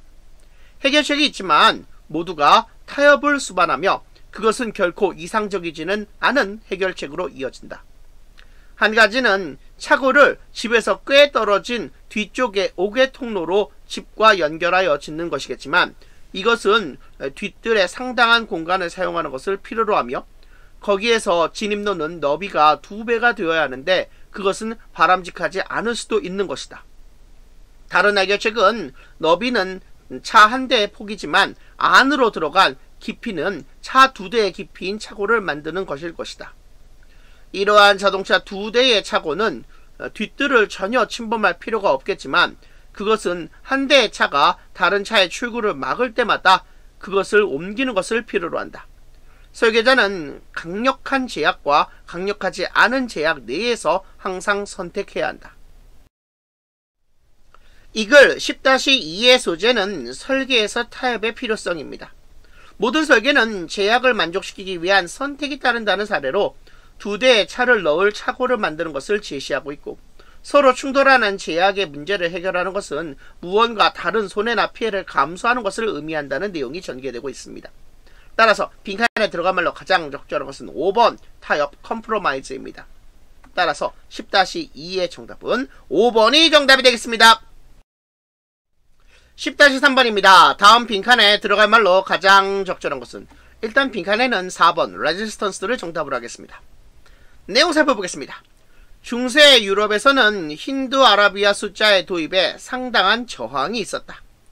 연산이 새로운 숫자 체계를 사용해 수행될 때의 편의성은 그것 새로운 숫자 체계를 매력적인 것으로 만들었다. 힌두 아라비아 숫자로 인해 산술 능력이 대중화될 조짐이 보이자 그것 힌두 아라비아 숫자는 산술 능력을 제한하여 이를 엘리트들의 특별한 도구로 유지하는 것에 관심이 있는 사람들에 의해 악마로 묘사되었다. 수학을 모두가 이용할 수 있게 된다면 힘의 원천이 상실될 것이다. 가톨릭 교회는 숫자에 대한 지배력을 유지함으로써 교육을 지속적으로 통제하기를 원했고 또한 종교적인 이유로 이슬람 세계로부터 온 그 체계를 반대했다. 주판을 이용해 수학이라는 신비한 체계에 종사해온 수학자들은 교회의 보호를 받았다. 힌두 아라비아 숫자 대중화에 대한 반대가 매우 강했으므로 일부 불쌍한 사람들은 그것 힌두 아라비아 숫자를 사용했다는 이유로 심지어 이단으로 화형당했다고도 한다. 이글 10-3의 소재는 힌두 아라비아 숫자 도입에 대한 반대입니다. 힌두 아라비아 숫자가 도입될 당시 엘리트들을 비롯한 가톨릭 교회와 같은 기득권층이 힌두 아라비아 숫자가 대중화되는 것을 반대하고 막으려고 했다는 내용의 글입니다. 따라서 빈칸에 들어가면 가장 적절한 것은 4번 저항 레지스턴스입니다. 따라서 10-3의 정답은 4번이 정답이 되겠습니다. 10-4번입니다. 다음 빈칸에 들어갈 말로 가장 적절한 것은 자, 빈칸에는 3번 Place of Origin을 정답으로 하겠습니다. 내용 살펴보겠습니다. 일부 생물학자들이 주장해온 바에 따르면 토종, 비토종의 구별이 이미 현실적으로 더는 쓸모가 없으며 그것을 고수하면 실제로 생태학적으로 아무 문제가 없는 비토종종을 통제하거나 제거하려는 성공 가능성이 없는 시도로서 회귀 자원을 사용하는 것과 같은 부실한 관리 결정으로 이어지는 생태학적 위험에 대한 억측을 주장하게 된다. 이 견해의 지지자들이 제안하는 것은 생태계 관리자들이 원산지를 기준으로 종을 평가하는 대신 그 종에게 교란되어 있거나 매우 역동적인 생태계 전체에 빠르게 확산될 가능성이 있도록 만드는 특성을 그 종이 가지고 있는지의 여부뿐만 아니라 그것 그 종이 생태계에 미치고 있는 실제 영향에도 초점을 맞춰야 한다는 것이다. 나아가 그들은 그러한 조건 하에서 종의 개체수의 빠른 확산을 촉진함으로써 결국 개체수가 생태학적으로 문제가 될 가능성을 나타내는 지표가 되는 유기체와 집단의 특성이 토종종과 비토종종에 있어 동일하다고 강조한다. 따라서 그들의 결론에 따르면 어떤 종이 토종인지 비토종인지를 아는 것은 그것이 끼칠 미래의 생태학적 영향에 대한 관련된 정보를 제공한다 하더라도 많이 제공하지는 못한다. 이글 10-4의 소재는 생물의 토종, 비토종 구별의 불필요성입니다. 생태학에서 종을 토종, 비토종으로 구별하여 평가하는 것이 잘못된 생태계 관리를 초래할 수 있다는 내용의 글입니다. 이러한 토종, 비토종의 구별은 원산지를 기준으로 하는 구별입니다. 따라서 빈칸에 들어간 말로 가장 적절한 것은 3번 Place of Origin 원산지입니다. 따라서 10-4의 정답은 3번이 정답이 되겠습니다. 여러분 반드시 기한 내에 출석 인증을 완료해 주세요. 오늘 수업은 여기까지 하겠습니다. 여러분 수고하셨습니다.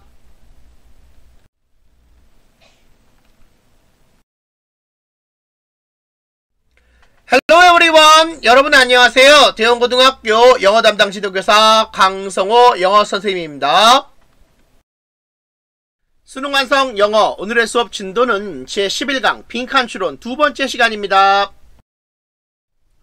11-1번입니다. 다음 빈칸에 들어갈 말로 가장 적절한 것은 일단 정답은 2번 Adapt or her role to the specific situation을 정답으로 하겠습니다. 내용 살펴보겠습니다. 전문적 배경을 가지고 있음을 고려할 때 현대 스포츠 심리학자는 오로지 한 가지 접근법에만 초점을 맞추지 말고 문제와 개인의 가장 적합한 접근 방식을 적용하는 데 유연해야 한다고 우리는 믿는다. 어떤 선수가 구체적 심리 기술을 가르침을 받기를 기대할 수도 있지만 그 선수가 이해받는 느낌을 갖지 못하며 진지하게 받아들여지는 것이 아니라 단지 일반적인 해결책만 제공받는다면 신뢰관계를 위한 어떠한 근거도 만들어질 수 없다. 현대 스포츠 심리학자는 자신의 역할을 구체적 상황에 맞출 필요가 있다. 어떤 경우에는 정신적 기술에 대한 전문가가 요구되고 어떤 경우에는 과정지향적인 동반자가 요구된다. 기존의 동기, 잠재력, 약점에 따라 스포츠 심리학자는 이해심 있게 대안 개발에 기여한다. 모니카 라이센펠드가 말하는 것처럼 스포츠 심리학자는 필요한 만큼의 안도감을 제공하며 사전에 만들어진 해결책은 가능한 한 적게 제공한다. 스포츠 심리학자는 부분적인 표준화를 갖춘 맞춤 재단사이다. 이 글 11-1번의 소재는 스포츠 심리학자의 역할입니다. 빈칸에는 스포츠 심리학자가 어떤 선수에게 구체적 심리 기술을 제공하기 위해 해야 할 일이 들어가야 합니다. 빈칸 뒤의 내용을 통해 스포츠 심리학자에게는 자신의 역할을 구체적 상황에 맞추어 필요한 만큼 재단할 능력이 요구됨을 알 수 있습니다. 따라서 빈칸에 들어간 말로 가장 적절한 것은 2번 adapt his or her role to the specific situation 자신의 역할을 구체적 상황에 맞출입니다. 따라서 11-1번의 정답은 2번이 정답이 되겠습니다. 11-2번입니다. 다음 빈칸에 들어갈 말로 가장 적절한 것은 빈칸에는 5번 automatically turn over driving to humans immediately를 정답으로 하겠습니다. 내용 살펴보겠습니다. 왜 인간에게 최종 결정권을 가지게 하는 것이 더 좋은가? 오늘날 빠르고 현명하게 윤리적 결정을 내리는 어떤 사람의 능력은 고사하고 그 사람의 윤리관을 근거로 그가 운전면허증을 딸 수 있을지를 결정하는 사람은 아무도 없다. 나아가 사고가 순간적인 결정을 요구하는 경우에도 자신의 뇌의 깊은 곳 안으로부터 판단력, 자비 혹은 동정심을 불러오고 상황을 분석하고 그리고 그 분석에 의해 요구되는 방향으로 그 차를 향하게 하는데 필요한 반응 시간을 가지는 능력을 갖춘 인간은 아무도 없을 것이다. 사실상 희생자의 선택이 수반되는 피할 수 없는 치명적인 사고에 직면한 인간에 대한 연구는 이러한 윤리적 딜레마에 맞닥뜨렸을 때 인간은 느리고 비합리적이고 모순되게 반응한다는 것을 반복하여 보여준다. 그렇다면 왜 사회는 차량이 윤리적 결정을 내릴 수 없다는 이유로 결정권을 자율주행 차량으로부터 가져가서 그것을 적어도 마찬가지로 그렇게 할 능력을 제대로 갖추지 않은 인간에게 주려 하는가? 따라서 만일 생사의 결정이 내려져야 한다면 자율주행 차량이 즉시 자동으로 인간에게 운전을 일임해야만 한다고 주장하는 것은 비합리적이다.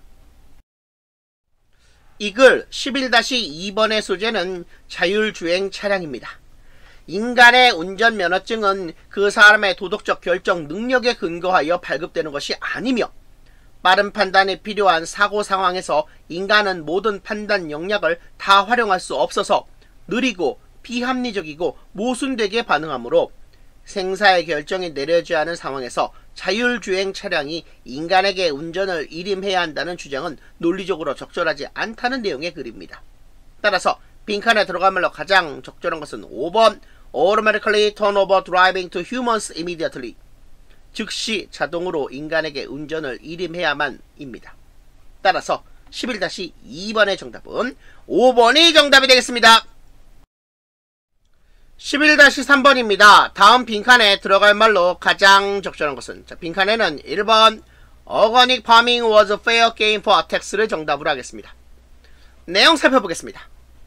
한때 뒷받침하는 증거가 있든 없든 유기농업은 공격하기에 만만한 대상이었다. 그리하여 1974년 미국 과학진흥협회 AAAS 연례 총회에서 어느 과학자 토론단은 유기농 식품 신화를 겨냥하여 그것을 과학적 난센스와 식품의 일시적인 유행을 따르는 사람과 괴짜의 영역이라고 부르고 대중을 혼란스럽게 해서 그들이 식품에 더 많은 돈을 지불하도록 겁을 준다고 가짜 과학자들을 비난했다. 그들은 또한 유기농 신화는 영양가 있는 식품을 최대한 효율적으로 생산하기 위해 필요한 절차에 대한 거부를 초래하기 때문에 인간의 복지에 역효과를 낳았으며 수십 년에 걸친 농업의 진보에서 오는 이득을 약화시키고 있다고 말했다. 그러나 7년 후 앞서 말한 이 AAAS의 학술지는 유기농 농장이 이웃한 관행적인 농장보다 화석 에너지를 덜 사용하고 토양 침식을 덜 겪으면서도 매우 효율적이고 경제적으로 경쟁력 있다는 것을 발견한 주요 연구 논문을 발표했다. 이 글 11-3의 소재는 유기농업에 대한 공격입니다. 1974년 미국 과학진흥협회 연례총회에서 어느 과학자 토론단은 유기농 식품에 대해 과학적 난센스, 식품의 일시적인 유행을 따르는 사람과 괴짜의 영역이라고 부르고 인간의 복지에 역효과를 낳았고 농업의 진보에서 오는 이득을 약화시키고 있다고 했습니다. 이를 통해 유기농업이 한때 공격의 대상이었음을 알 수가 있습니다. 따라서 빈칸에 들어간 말로 가장 적절한 것은 1번 Organic farming was fair game for attacks. 유기농업은 공격하기에 만만한 대상이었다입니다. 따라서 11-3번의 정답은 1번이 정답이 되겠습니다. 11-4번입니다. 다음 빈칸에 들어갈 말로 가장 적절한 것은 빈칸에는 5번 Art and Literature contribute to our moral development를 정답으로 하겠습니다. 내용 살펴보겠습니다. 예술은 그리고 음악은 그 자체로는 야만에 대한 충분한 보호를 제공할 수 없다는 것을 보여주었고 어쩌면 문화란 야만인들의 발톱에 칠한 매니큐어일 뿐이라는 게 사실일지도 모른다. 예술과 문학이 우리의 도덕성 발달에 기여한다는 주장에 대한 논의에서 잘 알려진 반론에는 교양 있는 사람들 사이에 있는 수많은 악의 사례가 포함된다. 결정적인 논거는 어떻게 유명한 나치 지도자들이 한 손으로는 강제 수용소를 관리하고 다른 한 손으로는 괴테를 읽었으며 고통과 절망에 사로잡힌 포로의 비명에 한쪽 귀를 막고 반대편 귀로는 바흐와 베토벤을 들었는가에 대한 이야기를 통해 이루어진다. 궁극적으로 우리가 무엇을 읽고 듣는가 뿐만 아니라 어떻게 읽고 듣는가도 중요하다고 주장할 수도 있다. 예술과 음악이 변화를 일으킬 수 있는 그것의 잠재력을 펼칠 수 있는 경우는 오직 전통적인 진실과 가치와 관련하여 우리가 그것 예술과 음악이 우리를 흔들고 우리를 불안하게 하며 우리에게 도전하게 할 때이다. 그런 다음에야 비로소 그것 예술과 음악은 시민이 하는 선택에서 표현될 수 있고 표현되어야 하는 판단과 감성의 능력을 배양할 수 있다. 이글 11-4의 소재는 예술과 도덕성의 관계입니다. 예술 그 자체가 사람을 양한 상태에서 벗어나게 하고 판단과 감성의 능력을 키워주지는 않는다는 내용의 글입니다. 빈칸에 들어갈 주장에 대한 잘 알려진 반론이 괴테를 읽고 바흐와 베토벤을 들으면서 강제 수용소를 관리하며 포로들의 고통에 무심하던 나치 지도자와 같은 교양 있는 사람들에게서 발견되는 악의 사례이므로 빈칸에 들어간 말로 가장 적절한 것은 5번 Art and Literature contribute to our moral development 예술과 문학이 우리의 도덕적 발달에 기여한다입니다. 따라서 11-4번의 정답은 5번이 정답이 되겠습니다.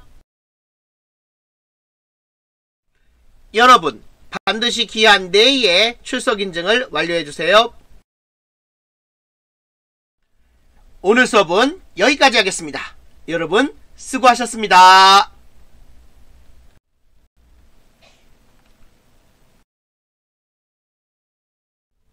Hello everyone 여러분 안녕하세요. 대원고등학교 영어 담당 지도교사 강성호 영어 선생님입니다.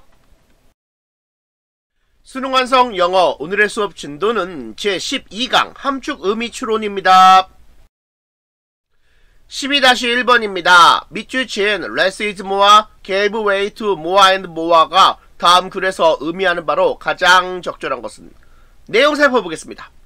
아마도 소비라는 단어 자체의 의미 변화만큼 소비 문화의 변화를 보여주는 더 좋은 지표는 없었을 것이다.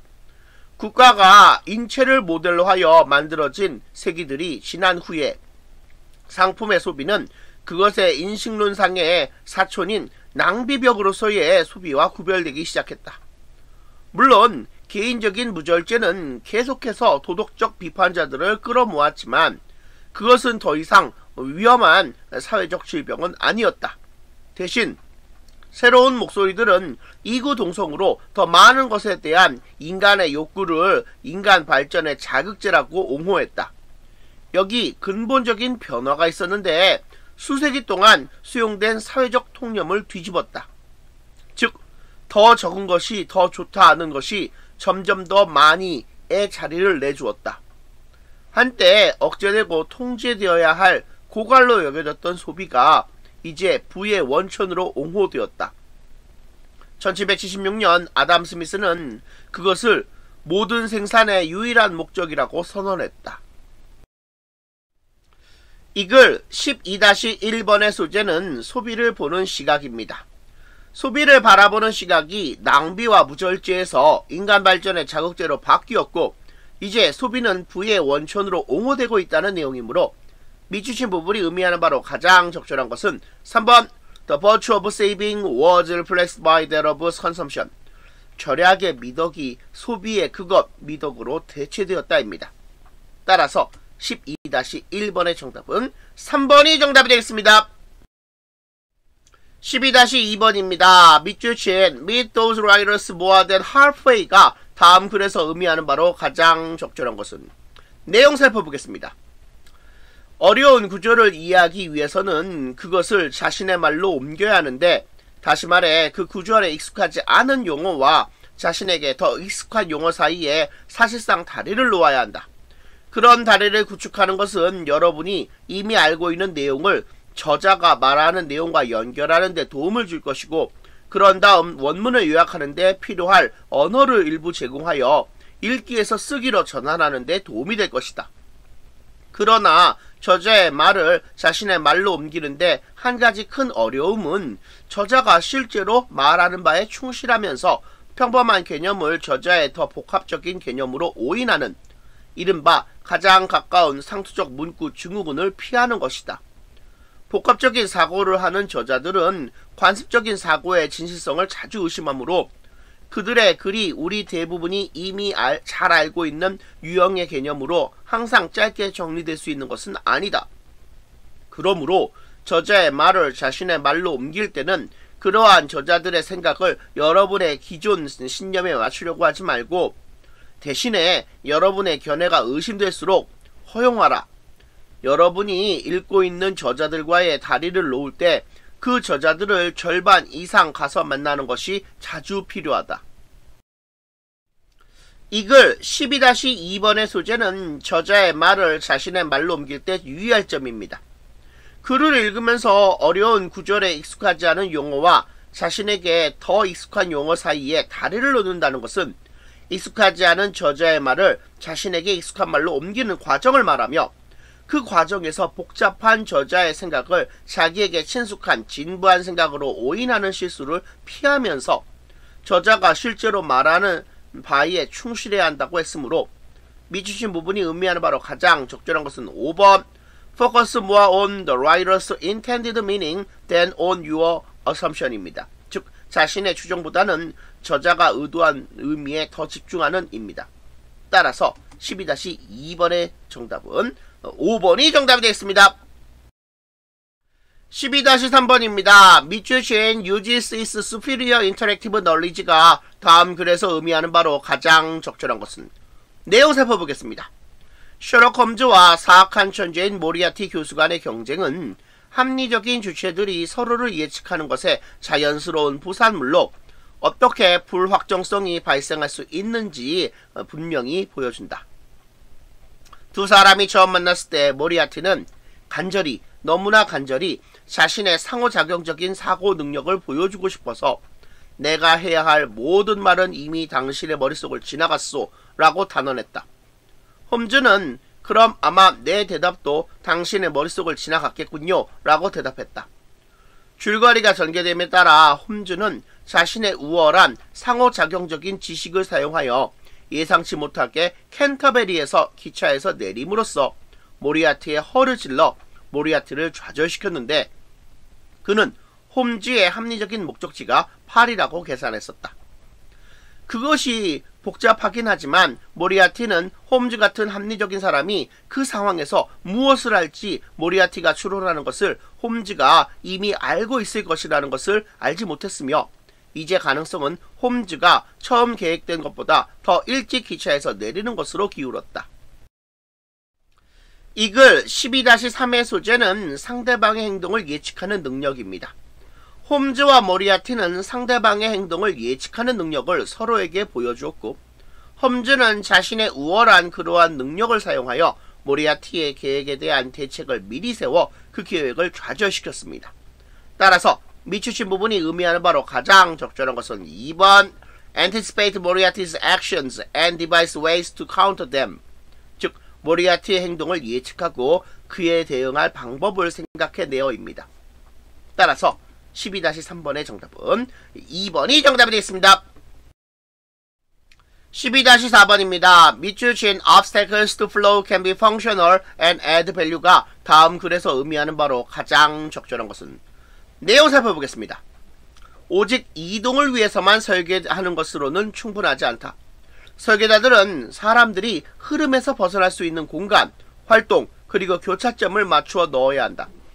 오직 이동만 하는 것은 사업에 나쁠 수 있다.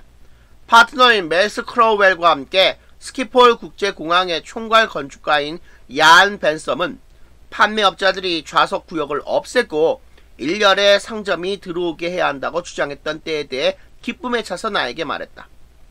결과는 의도한 것과는 정반대였다.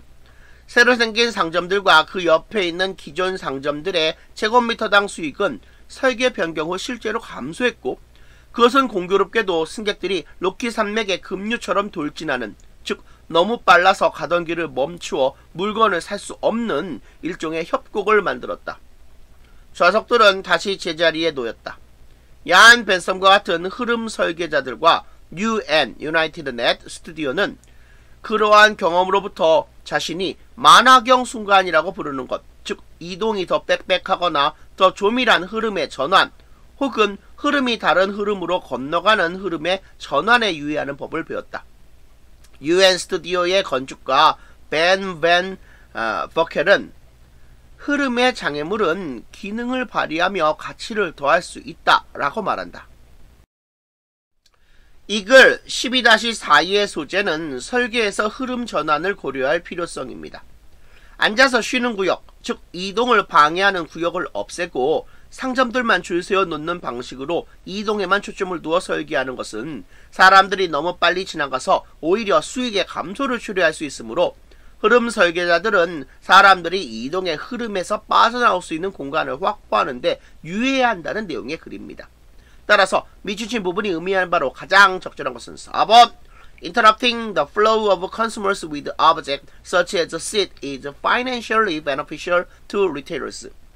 좌석과 같은 물건으로 고객의 흐름을 방해하는 것은 소매상인에게 재정적으로 이롭다입니다.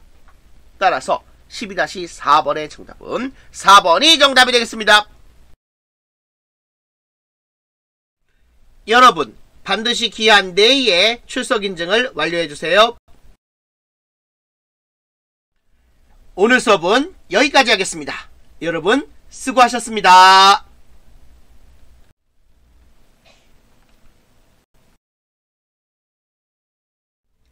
Hello everyone 여러분 안녕하세요. 대원고등학교 영어 담당 지도교사 강성호 영어 선생님입니다. 수능 완성 영어 오늘의 수업 진도는 제13강 무관한 문장 파악입니다. 13-1번입니다. 다음 글에서 전체 흐름과 관계없는 문장은 내용 살펴보겠습니다. 부모든 성인의 문턱에 있는 청소년이든 우리는 어떤 감정과 행동이 기대되는지와 그것에 따라서 어떤 감정과 행동이 받아들여지는지에 대한 문화적인 규범을 공유한다. 우리는 언제 청소년기가 끝나는지와 그것이 끝날 때 우리가 무엇이 되어야 하는지에 대한 추정을 공유한다. 반복해서 부모들은 19세, 20세, 21세의 자녀를 다 컸다라고 묘사하는데 그것은 다 큰 아이가 어떻게 떠나갔는지를 나타내며 손을 휙 움직이는 동작이 동반되는 용어이다. 만일 21세가 되는 것이 성인이 되는 것을 의미한다면 그리고 성인이 되는 것이 부모가 필요 없다는 것을 의미한다면 이러한 필요를 인정하는 것은 굴욕적이다.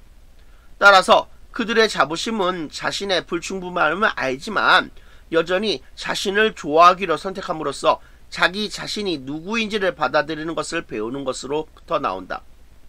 젊은 성인은 자신의 자아감을 분명하게 하고 안정시키기 위해 계속하여 부모의 사랑, 칭찬, 인정에 의존한다. 이러한 의존이 잘못된 것으로 보이면 그 사람은 새로운 형태의 분리 불안을 겪는다. 이 글 13-1의 소재는 젊은 성인에게도 필요한 부모의 사랑과 인정입니다. 우리는 청소년기가 끝나는 나이와 그때 용인되는 행동에 관한 추정을 공유하는데 청소년기가 끝나면 부모로부터 거리를 둬야 한다고 주장한다면 부모의 사랑과 인정이 필요하다고 생각하는 것은 굴욕적인 느낌을 유발하여 새로운 형태의 분리불안으로 이어질 수도 있다는 내용의 글입니다. 따라서 자신의 불충분함을 받아들이는 것의 중요성을 다루고 있는 3번은 전체 흐름과 관계가 없습니다. 따라서 13-1번의 정답은 3번이 정답이 되겠습니다. 13-2번입니다. 다음 글에서 전체 흐름과 관계없는 문장은 내용 살펴보겠습니다. 부모가 자녀를 어떤 특정 스포츠나 대회에 맞춰 능률적으로 지도하는 일이 매우 흔하다. 조니가 북미 프로 아이스하키 리그에서 뛰기를 원하거나 메리가 프로 축구 선수가 되어 올림픽 금메달을 집으로 가져오기를 원한다고 하자. 두 경우 모두 부모가 한 스포츠에 대한 자녀의 초기 애착을 한 가지 특정 스포츠의 프로그램, 코칭, 기술, 개발을 집중시킬 기회로 잘못 해석할 수 있다. 우리는 모든 신체 발달이 한 스포츠의 특정 동작에 맞춰지는 6세 정도의 어린이들을 목격해왔다. 그러나 어떤 스포츠에서든 높은 성과를 내기 위해서는 전문화가 필요한데 그것은 전문화가 신체적, 기술적, 전술적, 심리적 적응을 가져오기 때문이다. 사실 아이들은 운동 발달, 근력, 신경 프로그래밍을 최적화하기 위해 게임, 활동 및 다양한 스포츠를 하도록 장려되어야 한다. 아이들은 단지 작은 어른이 아니다. 다시 말해 그들은 반드시 고려되어야 할 복잡하고 뚜렷이 다른 생리적인 특징을 가지고 있다. 이글 13-2의 소재는 아동기 스포츠 전문화의 문제점입니다. 자녀가 어릴 때부터 특정 스포츠에 맞춰 전문화된 훈련을 시키는 것에 문제점을 지적하고 어린이들이 다양한 스포츠를 하도록 장려해야 한다는 내용의 그림으로 어느 스포츠에서든 어, 높은 성과를 내기 위해 전문화가 필요하다는 내용의 3번은 글의 흐름과 무관합니다. 따라서 13-2번의 정답은 3번이 정답이 되겠습니다. 13-3번입니다. 다음 글에서 전체 흐름과 관계없는 문장은 내용 살펴보겠습니다. 위장 환경주의와 상징적 기업 환경주의 사이의 주요한 차이점은 상징과 실체가 연결되는 방식이다. 위장 환경주의의 통상적 정의에서는 기업이 전달하는 내용이 실제로 환경에 미치는 영향과 분리될 수 있다. 위장 환경주의라는 말은 의도적인 긍정적 공개가 좋지 않은 실질적 환경 성과와 병행하여 존재할 때 부여되는 꼬리표이다. 따라서 분명히 기업이 전달하는 내용은 환경에 미치는 영향과 단절되어 있다. 이름뿐인 에코 라벨을 쓰는 것과 같은 신호와 그것이 나타내고자 의도된 추상적인 개념, 예를 들면 기업의 환경에 대한 관심 사이에는 상징적 관계만 있을 뿐이다. 에코 라벨이 붙여진 제품은 제조 과정 전반에 걸친 오염물질 배출 감소 효과로 인해 환경적이며 에너지 소비와 오염물질 처리 비용을 절감하는 효과로 인해 경제적이다. 위장 환경주의에서는 그 상징과 실질적으로 개선된 환경 성과 사이에 필연적인 관계가 없다. 위장 환경주의는 기업이 자신의 상징적인 성과와 실질적인 성과 사이에 격차를 벌리도록 의도적으로 상징을 조작하는 상징적 기업 환경주의 내의 특별한 사례이다. 이글 13-3의 소재는 위장 환경주의입니다.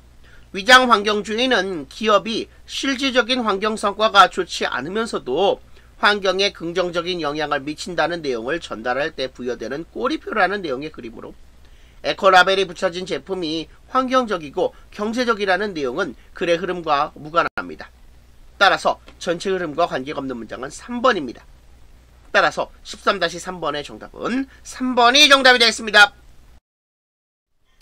13-4번입니다. 다음 글에서 전체 흐름과 관계없는 문장은 내용 살펴보겠습니다.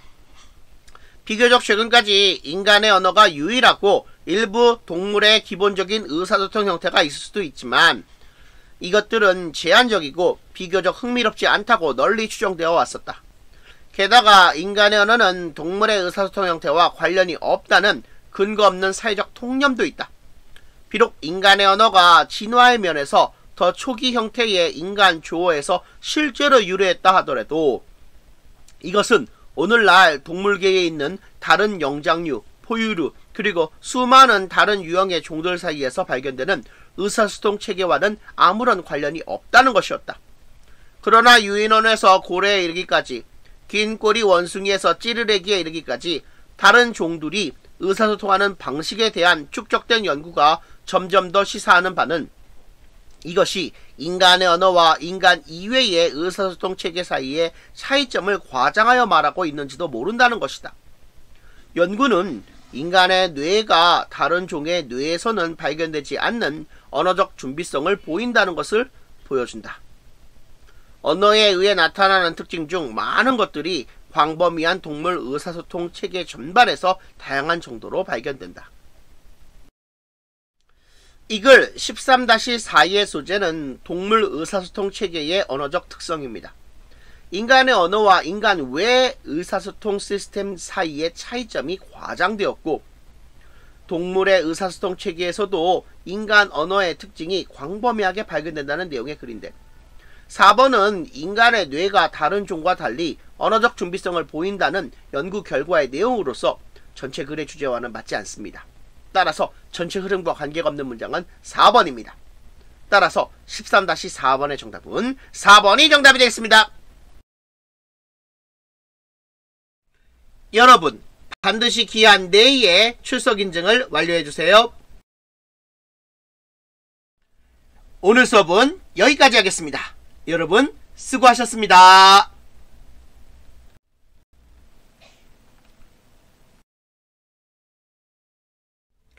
Hello everyone 여러분 안녕하세요. 대원고등학교 영어 담당 지도교사 강성호 영어 선생님입니다. 수능 완성 영어. 오늘의 수업 진도는 제14강 글의 순서 파악입니다 14-1번입니다 주어진 글 다음에 이어질 글의 순서로 가장 적절한 것은 내용 살펴보겠습니다 패션쇼는 일반적으로 최소한 100명에서 최대한 1000명이나 되는 손님을 수용하는데 평균 손님을 위한 좌석은 300석 정도에 이른다. 쇼의 규모는 참석하는 사람들의 중요성보다 훨씬 덜 중요하다. 여러분의 사업에 실제로 영향을 미칠 수 없는 사람 50명보다 딱 맞는 사람 5명에게 여러분의 패션 컬렉션을 보여주는 것이 더 낫다. 여러분이 뉴욕 패션 위크의 텐트에서 보여준다면 여러분은 그 쇼에 참석하기 위해 등록하는 기자단의 목록을 제공받을 것이다. 그 목록은 누구를 초청할 것인지 결정할 때 좋은 시작점이지만 여러분은 그것을 주의 깊게 편집할 필요가 있다. 이 목록에 있는 기자와 편집자 중 많은 사람이 모든 컬렉션에 적절한 것은 아니며 여러분의 쇼에 참석할 필요가 없다. 이 목록을 사용한다면 여러분은 또한 등록하지 않은 다른 간행물의 기자와 편집자를 추가해야 할 필요가 있다.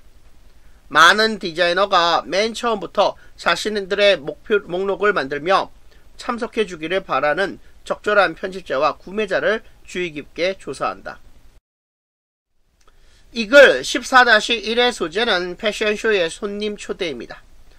패션쇼에서는 쇼의 규모가 참석하는 사람들의 중요성보다 훨씬 덜 중요하다고 언급한 주어진 글에 이어 사업에 영향력이 없을 50명보다 적절한 5명을 초대하는 것이 더 낫다는 사례를 제시하는 B가 이어져야 합니다.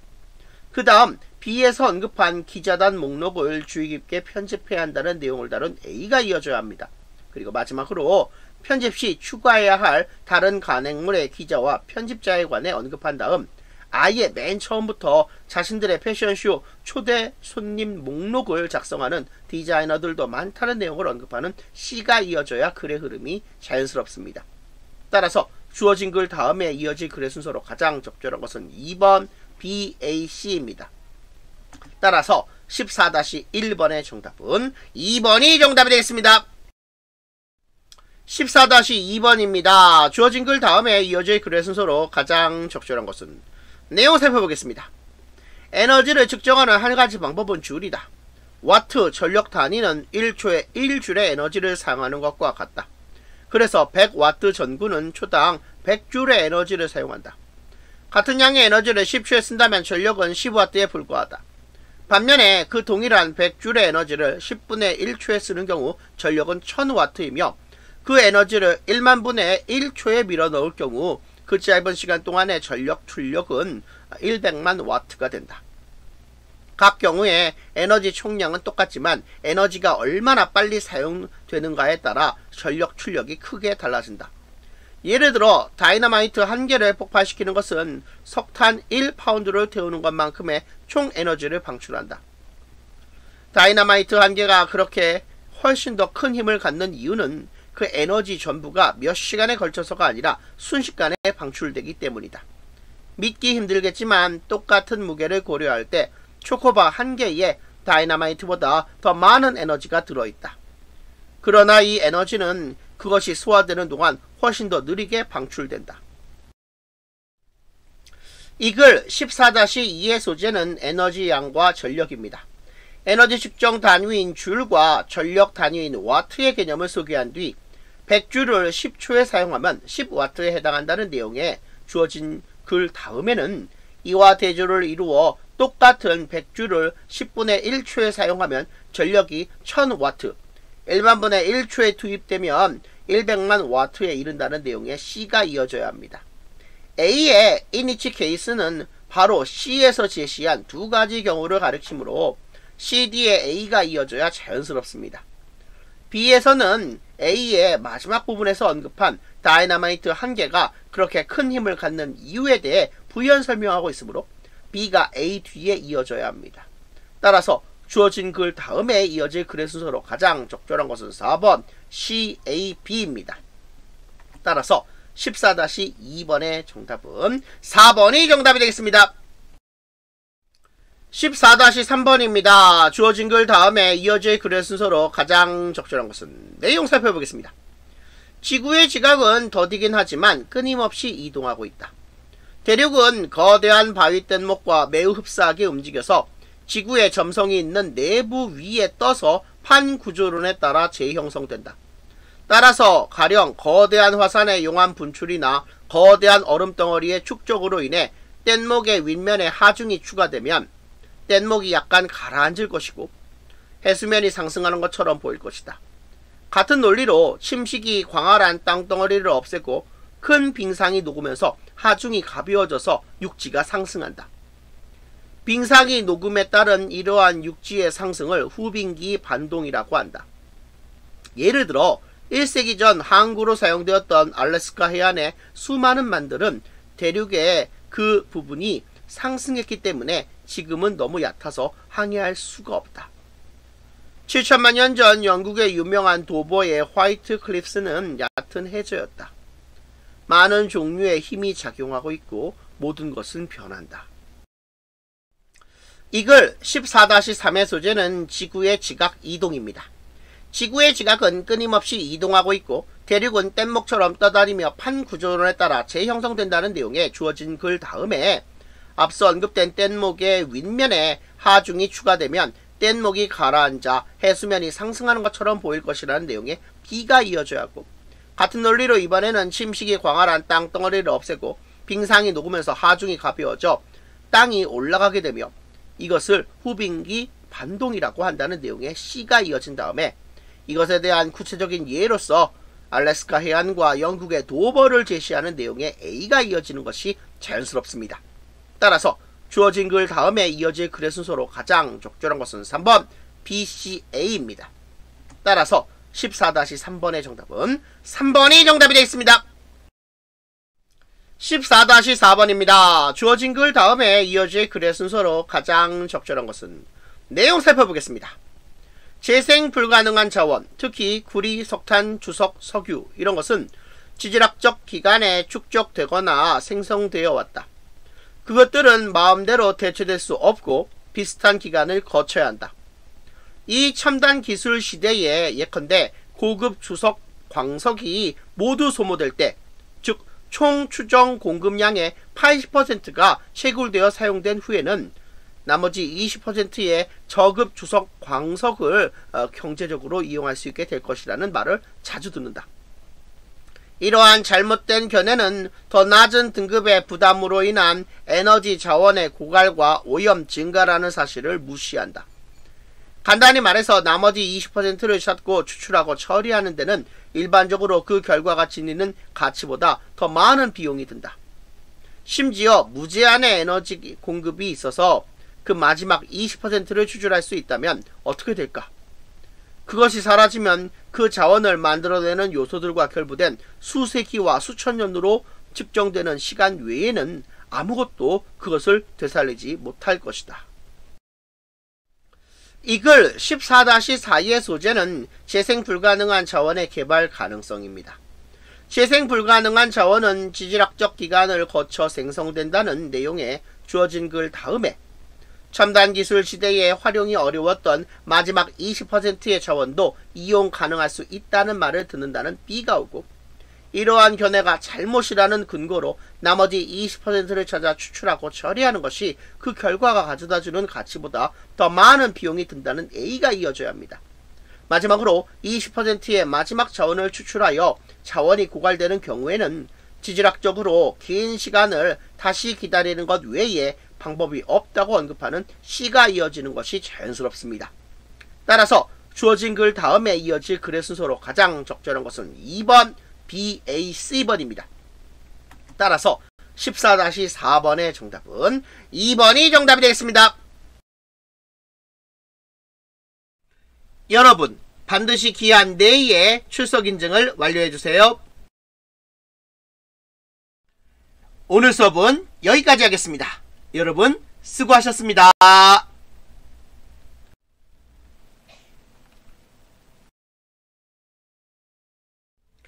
Hello everyone 여러분 안녕하세요. 대원고등학교 영어 담당 지도교사 강성호 영어 선생님입니다.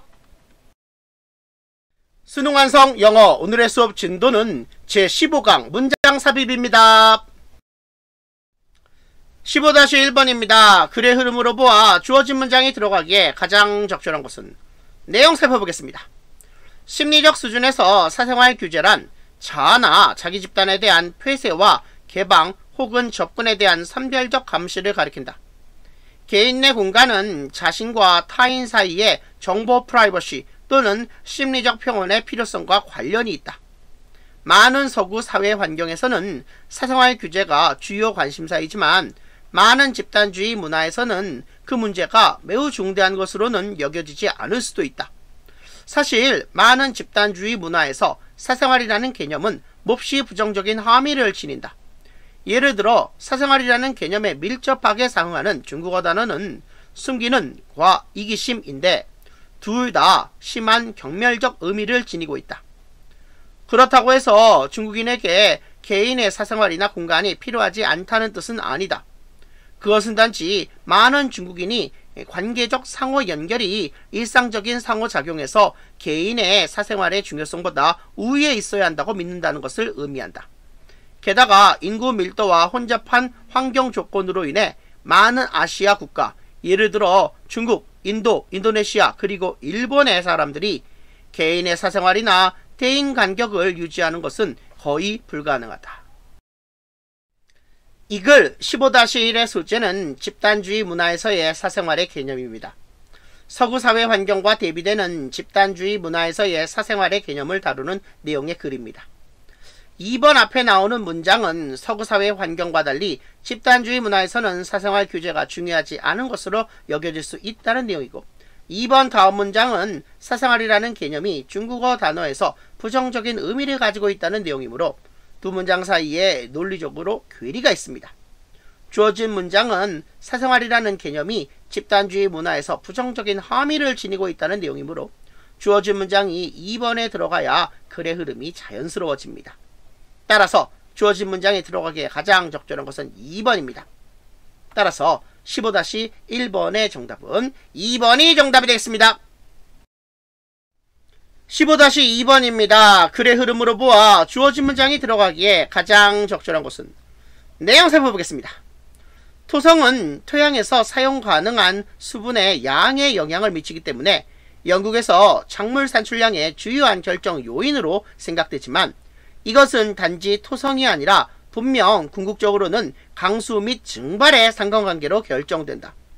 토양은 기후나 토양의 경사도보다 더 쉽게 조종된다. 현대 농업 방법은 원래 불모인 토양에 식물의 영양분을 공급할 수 있게 하고 산성 토양은 석회로 처리될 수 있으며 물을 잔뜩 머금은 토양은 암거 배수에 의해 개선될 수 있다. 그러나 이렇다 해서 좋은 토양이 과거보다 덜 중요하다는 결론으로 이어지는 것은 아니다. 비료의 투입은 척박한 토양에서보다 좋은 토양에서 더 좋은 산출량의 반응을 얻어낸다. 따라서 미국에서 옥수수 생산은 서서히 최적의 토양과 기후를 지닌 지역으로 집중되고 다른 곳에서는 감소해 왔다.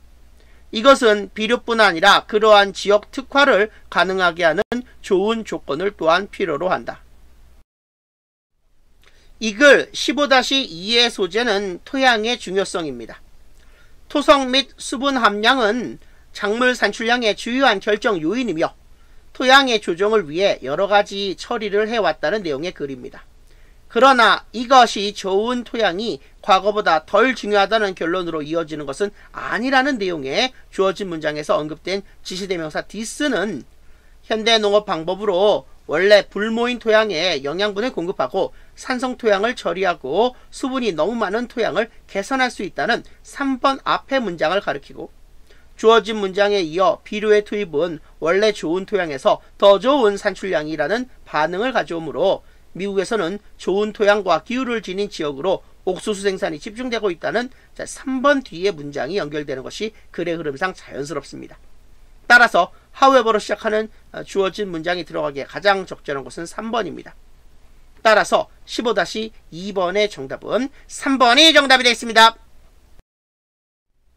15-3번입니다. 글의 흐름으로 보아 주어진 문장이 들어가기에 가장 적절한 것은 내용 살펴보겠습니다. 두 발로 걷는 종에서 엄지발가락은 더 이상 움켜잡는 데 사용되지 않아서 그것은 다른 발가락과 더 가깝게 정렬되고 한편 척추는 등 쪽에서가 아니라 아래에서부터 두개골로 들어간다. 네 다리로 엎드려 보면 여러분은 그 이유를 이해할 것이다. 두 다리로 걷기 위해서는 등, 엉덩이, 심지어 두 개까지 재배열되어야 했다. 그것은 또한 더 좁은 엉덩이를 선호했고 이는 출산을 더 어렵고 위험하게 만들었으며 아마도 많은 호미닌이 현대 인간같이 아직 스스로의 힘으로는 생존할 수 없는 유아를 낳았다는 것을 의미할 것이다. 그것은 그들의 아기들이 더 많은 육아를 필요로 했다는 것을 의미했을 것이고 이는 사교선을 촉진하고 호민인 아버지들을 자녀 양육에 더 참여하게 했을 수 있다. 15-3번 계속 이어집니다. 내용 살펴보겠습니다. 두발 보행에 간접적인 영향이 많이 있었지만 우리는 정확히 왜 호미닌이 두발 보행이 되었는지 아직 알지 못한다. 아마도 두발 보행은 우리의 조상들이 지난 3천만 년 동안 냉각되고 있는 세상에 퍼져나간 풀이 무성한 사바나 땅에서 더 멀리 걷거나 더 멀리 달리게 해 주었을 것이다. 그것은 또한 인간의 손을 자유롭게 해주어 결국 도구 제작을 포함하여 손으로 다루는 일을 전문적으로 할 수 있게 했다. 이글 15-3의 소재는 호미닌의 두발 보행입니다. 두발 보행은 신체적인 변화와 더불어 아이 양육 방식에 변화를 가져오게 했고 또한 인간의 손을 자유롭게 해주었다는 내용의 글입니다. 주어진 문장은 2번 앞문장의 내용에 덧붙여 더 좁은 엉덩이로 인해 출산이 어려워졌고 스스로 생존할 수 없는 유아를 낳았다는 내용이므로 2번 다음 문장에 나오는 아기들이 더 많은 육아를 필요로 했다는 내용과 연결이 되어야 문맥상 자연스럽습니다. 또한 주어진 문장의 it은 2번 앞에 있는 문장에 working on two legs를 가리키고 2번 다음에 문장에 언급된 대어는 주어진 문장에 many hominids를 가리키고 있습니다. 따라서 주어진 문장에 들어가기에 가장 적절한 것은 2번입니다. 따라서 15-3번의 정답은 2번이 정답이 되겠습니다. 15-4번입니다. 글의 흐름으로 보아 주어진 문장이 들어가기에 가장 적절한 것은 내용 살펴보겠습니다. 미끼 효과의 간단한 예는 잡지 내셔널 지오그래픽에 의해 실시된 연구이다. 한 그룹의 소비자가 3달러를 내고 작은 팝콘 한 통을 선택하거나 7달러를 내고 큰 팝콘 한 통을 선택하도록 요청받았다. 이 그룹의 대다수 소비자들은 작은 통을 선택했다. 하지만 극장들은 구매매점 구매로 인한 수익을 늘리는 것에 관심이 있어서 그들은 더 비싼 선택지를 더 매력적으로 만들고 싶어 한다. 미끼 효과는 이것을 일어나게 하는 한 가지 방법이다. 그 연구에서 이것은 같은 선택지에 6달러 50센트를 내고 중간 크기의 통을 받는 선택지가 하나 더 추가로 제공되는 두 번째 그룹을 사용하여 이루어졌다. 이 그룹의 대다수 소비자들은 큰 통을 선택했는데 그것이 합리적인 선택처럼 보였기 때문이다. 단지 50센트만 더 내면 훨씬 더 많은 팝콘을 얻게 되는 것이다. 그래서 비록 그 미끼 중간통이 선호되지는 않았지만 그 미끼는 그것이 거기에 없었더라면 그들이 선택했을 어, 덜 비싼 선택지보다는 가장 비싼 선택지를 고르도록 사람들을 유혹했던 것이다. 이글 15-4의 소재는 미끼 효과입니다. 미끼 효과를 이용하여 소비자가 두 가지 선택 중 더 비싼 것이 더 매력적이라고 생각하게 만들어 더 비싼 것을 선택하도록 유도한다는 내용의 글입니다. 소비자에게 3달러를 내고 작은 팝콘 한 통을 선택하거나 7달러를 내고 큰 팝콘 한 통을 선택하라고 하면 대다수의 소비자는 작은 통을 선택한다는 내용의 2번 앞 문장과 미끼 효과는 이것을 발생하게 하는 한 가지 방법이라는 내용의 2번 뒤 문장은 이어지기에는 논리적 공백이 있습니다. 또한 2번 다음 문장의 디스는 문맥상 주어진 문장이 언급된 더 비싼 선택을 더 매력적으로 만드는 것을 가리키고 있습니다. 따라서 주어진 문장이 들어가기에 가장 적절한 것은 2번입니다. 따라서 15-4번의 정답은 2번이 정답이 되겠습니다. 여러분, 반드시 기한 내에 출석 인증을 완료해 주세요. 오늘 수업은 여기까지 하겠습니다. 여러분, 수고하셨습니다.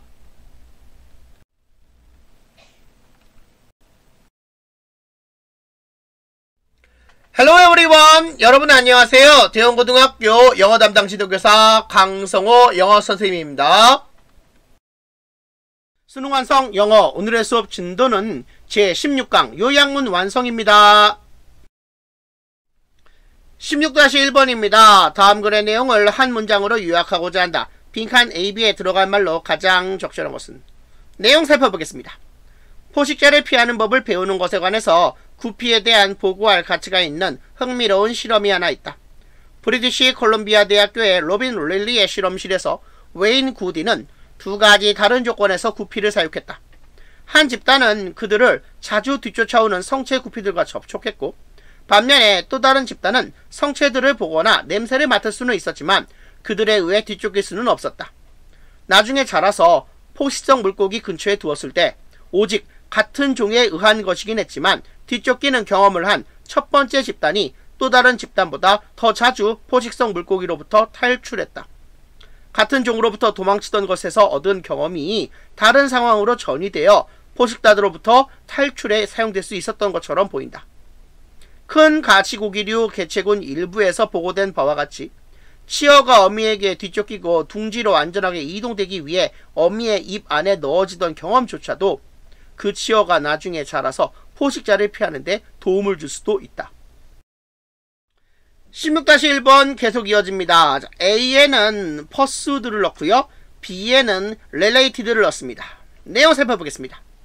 같은 종에 속한 성체 물고기로부터 뒤쫓기는 어린 물고기의 경험은 나중에 자라서 포식자로부터 탈출하는 능력과 관련 있는 것으로 밝혀졌다. 이 글 16-1의 소재는 치어의 경험과 포식자 회피입니다. 어린 물고기가 같은 종의 성체에게 뒤쫓기는 경험을 할 경우 후에 실제 포식자로부터 더 잘 탈출한다는 내용의 글입니다. 따라서 빈칸 A에는 pursued가 B에는 related가 들어가는 것이 가장 적절합니다. 따라서 16-1번의 정답은 4번이 정답이 되겠습니다. 16-2번입니다. 다음 글의 내용을 한 문장으로 요약하고자 한다. 빈칸 AB에 들어갈 말로 가장 적절한 것은 내용 살펴보겠습니다. 사람들이 그들의 상호작용으로부터 원하는 것에 변화를 유발하는 것은 노화라기보다는 오히려 살 수 있는 시간이 더 적게 남았다는 인식이다. 젊은 성인은 실험 조작을 통한 인위적인 시간 제약에 놓일 때든 혹은 실질적인 시간 제약에 놓일 때든 사회적 상호작용의 정서적 기능에 대해 나이가 더 많은 성인이 보여주는 것과 유사한 선호를 보인다. 어떤 종류의 종말이든 강한 감정을 불러일으키며 자신과 가장 가까웠던 사람들과 시간을 보내고 싶게 만든다. 여러분이 고등학교를 졸업하거나 나라 반대편으로 이사한 친구와 작별했을 때와 같이 중요한 인생의 사건들이 종말에 이르렀을 때를 생각해보라. 이 사람들과 함께 보낼 시간이 얼마 남지 않았다는 것을 알고 있었으므로 여러분은 끝나기 전에 여러분이 정말로 가졌던 그 시간을 최대한 활용하기를 원했다. 감정적인 보상을 극대화하려는 바람은 성인들이 새로운 친구와 지인을 찾는 것보다 자신들에게 친숙한 사람들과 시간을 보내는 것을 점점 더 선호하게 한다. 16-2번 계속 이어집니다. 자, A에는 컨클루전을 쓰고요. B에는 psychological을 씁니다. 내용 살펴보겠습니다. 사람들은 가까운 관계의 끝맺음이 다가오는 것을 알게 되면 더 많은 심리적인 보상을 받기 위해 이러한 기존 관계의 사람들과 더 많은 시간을 보내는 경향이 있다. 이 글 16-2번의 소재는 시간적 제약의 인식과 관계 지향의 변화입니다. 친숙한 사람들과 보낼 수 있는 시간이 제약되어 있고 그 시간이 끝나가고 있다는 것을 인식하게 되면 사람들은 새롭게 관계를 맺을 대상을 찾는 것보다 기존 관계를 통해 심리적인 보상을 더 받고자 자신에게 친숙한 사람들과 시간을 보내는 것을 더 선호하게 된다는 내용의 글입니다. 따라서 빈칸 A에는 컨클루전이 빈칸 B에는 사이클로지컬이 들어가는 것이 가장 적절합니다. 따라서 16-2번의 정답은 3번이 정답이 되겠습니다. 16-3번입니다. 다음 글의 내용을 한 문장으로 요약하고자 한다. 빈칸 A, B에 들어갈 말로 가장 적절한 것은 내용 살펴보겠습니다. 가장 초기 인류가 가까이에서 찾은 것은 돌이었다. 나중에 그들은 점토와 그것을 굽는 방법을 발견했는데 그것은 대도시의 성장과 존립 가능성에 매우 중요했다. 대량의 도자기 단지의 생산을 가져다 준 이 혁신은 오늘날의 터키, 튀르키예에 있는 아나톨리아 지역에서 8천년 전에 일어났는데 액체와 곡물의 운반뿐만 아니라 용이한 요리와 보관을 가능하게 해주었다. 가장 초기에 알려진 글의 예들이 메소포타미아에서 발굴된 점토판에 나타나기 때문에 우리는 점토가 음식을 저장하는 것만큼 정보를 저장하는 데에도 중요했다는 것을 안다. 이러한 판들의 내구성 때문에 그 과학자들은 5천년 전으로 거슬러 올라가는 놀랄 만큼 상세한 기록을 복구할 수 있었다. 사실 점토판은 파피루스 종이보다 수천 년 동안 잔존할 가능성이 훨씬 더 컸기에 우리는 천년 후 팔레스타인에서 발생했던 사건들에 대해 우리가 가지고 있는 것보다 고대 메소포타미아에서의 삶에 대해 더 많은 단단한 확고한 사실을 가지고 있다. 16-3번 계속 이어집니다. 빈칸 A에는 development를 쓰고요. 빈칸 B에는 preserve를 씁니다. 내용 살펴보겠습니다. 점토와 그것을 굽는 방법의 발견은 대도시의 발전에 중요한 역할을 했고 점토의 내구성은 인간이 음식뿐만 아니라 정보를 오랫동안 보존할 수 있게 해주었다. 이 글 16-3의 소재는 점토의 역할입니다.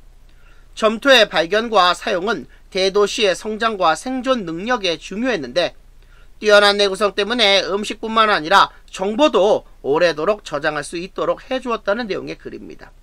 따라서 빈칸 A에는 development가 아, 빈칸 B에는 preserve가 들어가는 것이 가장 적절합니다. 따라서 16-3번의 정답은 2번이 정답이 되겠습니다. 16-4번입니다. 다음 글의 내용을 한 문장으로 요약하고자 한다. 빈칸 A, B에 들어갈 말로 가장 적절한 것은 내용 살펴보겠습니다. 얼굴, 일상의 물건 혹은 동물과 같은 뚜렷이 다른 패턴을 인식한 다음 아기와 어린이가 하는 것과 매우 비슷한 방식으로 그것을 집단으로 분류할 수 있는 기계를 개발할 수 있는 것은 컴퓨터 과학자들의 꿈이었다. 지난 몇 년 동안 개발자들은 이전에 불가능하다고 생각되었던 이러한 목표 중 몇 가지를 가까스로 성취했다. 문제는 직관에 반대되는 것이었는데 아기에게 자연스럽게 생기는 것이 컴퓨터가 수행하기에는 놀랍도록 어렵거나 불가능하게 여겨졌다. 그렇지만 그 정반대도 또한 사실이어서 최근에 지난 20년간 데이터의 폭발적인 증가 결과로 막대한 양의 데이터의 수집, 분류, 계산은 어느 인간, 개인 혹은 심지어는 수백만 명의 인간도 수행하기에 불가능한 것이다. 우리의 집단적인 인간 두뇌의 계산력은 컴퓨터의 계산력과 절대 맞먹을 수 없을 것이고 그것은 상상할 수 없을 정도로 거의 기하급수적으로 증가해 왔다. 최근 몇 년 동안 생산된 데이터의 순전한 양만 해도 슈퍼컴퓨터의 계산 능력을 활용하지 않고는 통제하거나 이용할 수 없다. 16-4번 계속 이어집니다. 빈칸 A에는 discerning이 빈칸 B에는 quantity가 들어갑니다. 내용 살펴보겠습니다. 컴퓨터 과학자들은 아기와 어린이가 하는 것과 같이 패턴을 인식할 수 있는 기계를 만들려는 시도에서 약간의 진전을 이루었지만 컴퓨터의 진정한 강점은 그것이 처리할 수 있는 데이터의 양에 있다. 이 글 16-4의 소재는 컴퓨터 과학의 발전 현황입니다. 아이와 어린이가 그렇게 하는 방식과 매우 비슷하게 패턴을 인식하고 분류하는 기계를 개발하기 위한 노력이 진행되어 왔고 이 부분에서 몇 가지 목표가 가까스로 성취된 반면 컴퓨터의 진정한 강점은 인간의 계산력으로는 처리하기 힘들며 기하급수적으로 증가하는 막대한 양의 데이터를 처리하는 데 있다는 내용의 글입니다. 따라서 빈칸 A에는 디서닝이 빈칸 B에는 퀀터티가 들어가는 것이 가장 적절합니다. 따라서 16-4번의 정답은 2번이 정답이 되겠습니다. 여러분 반드시 기한 내에 출석 인증을 완료해 주세요. 오늘 수업은 여기까지 하겠습니다. 여러분 수고하셨습니다.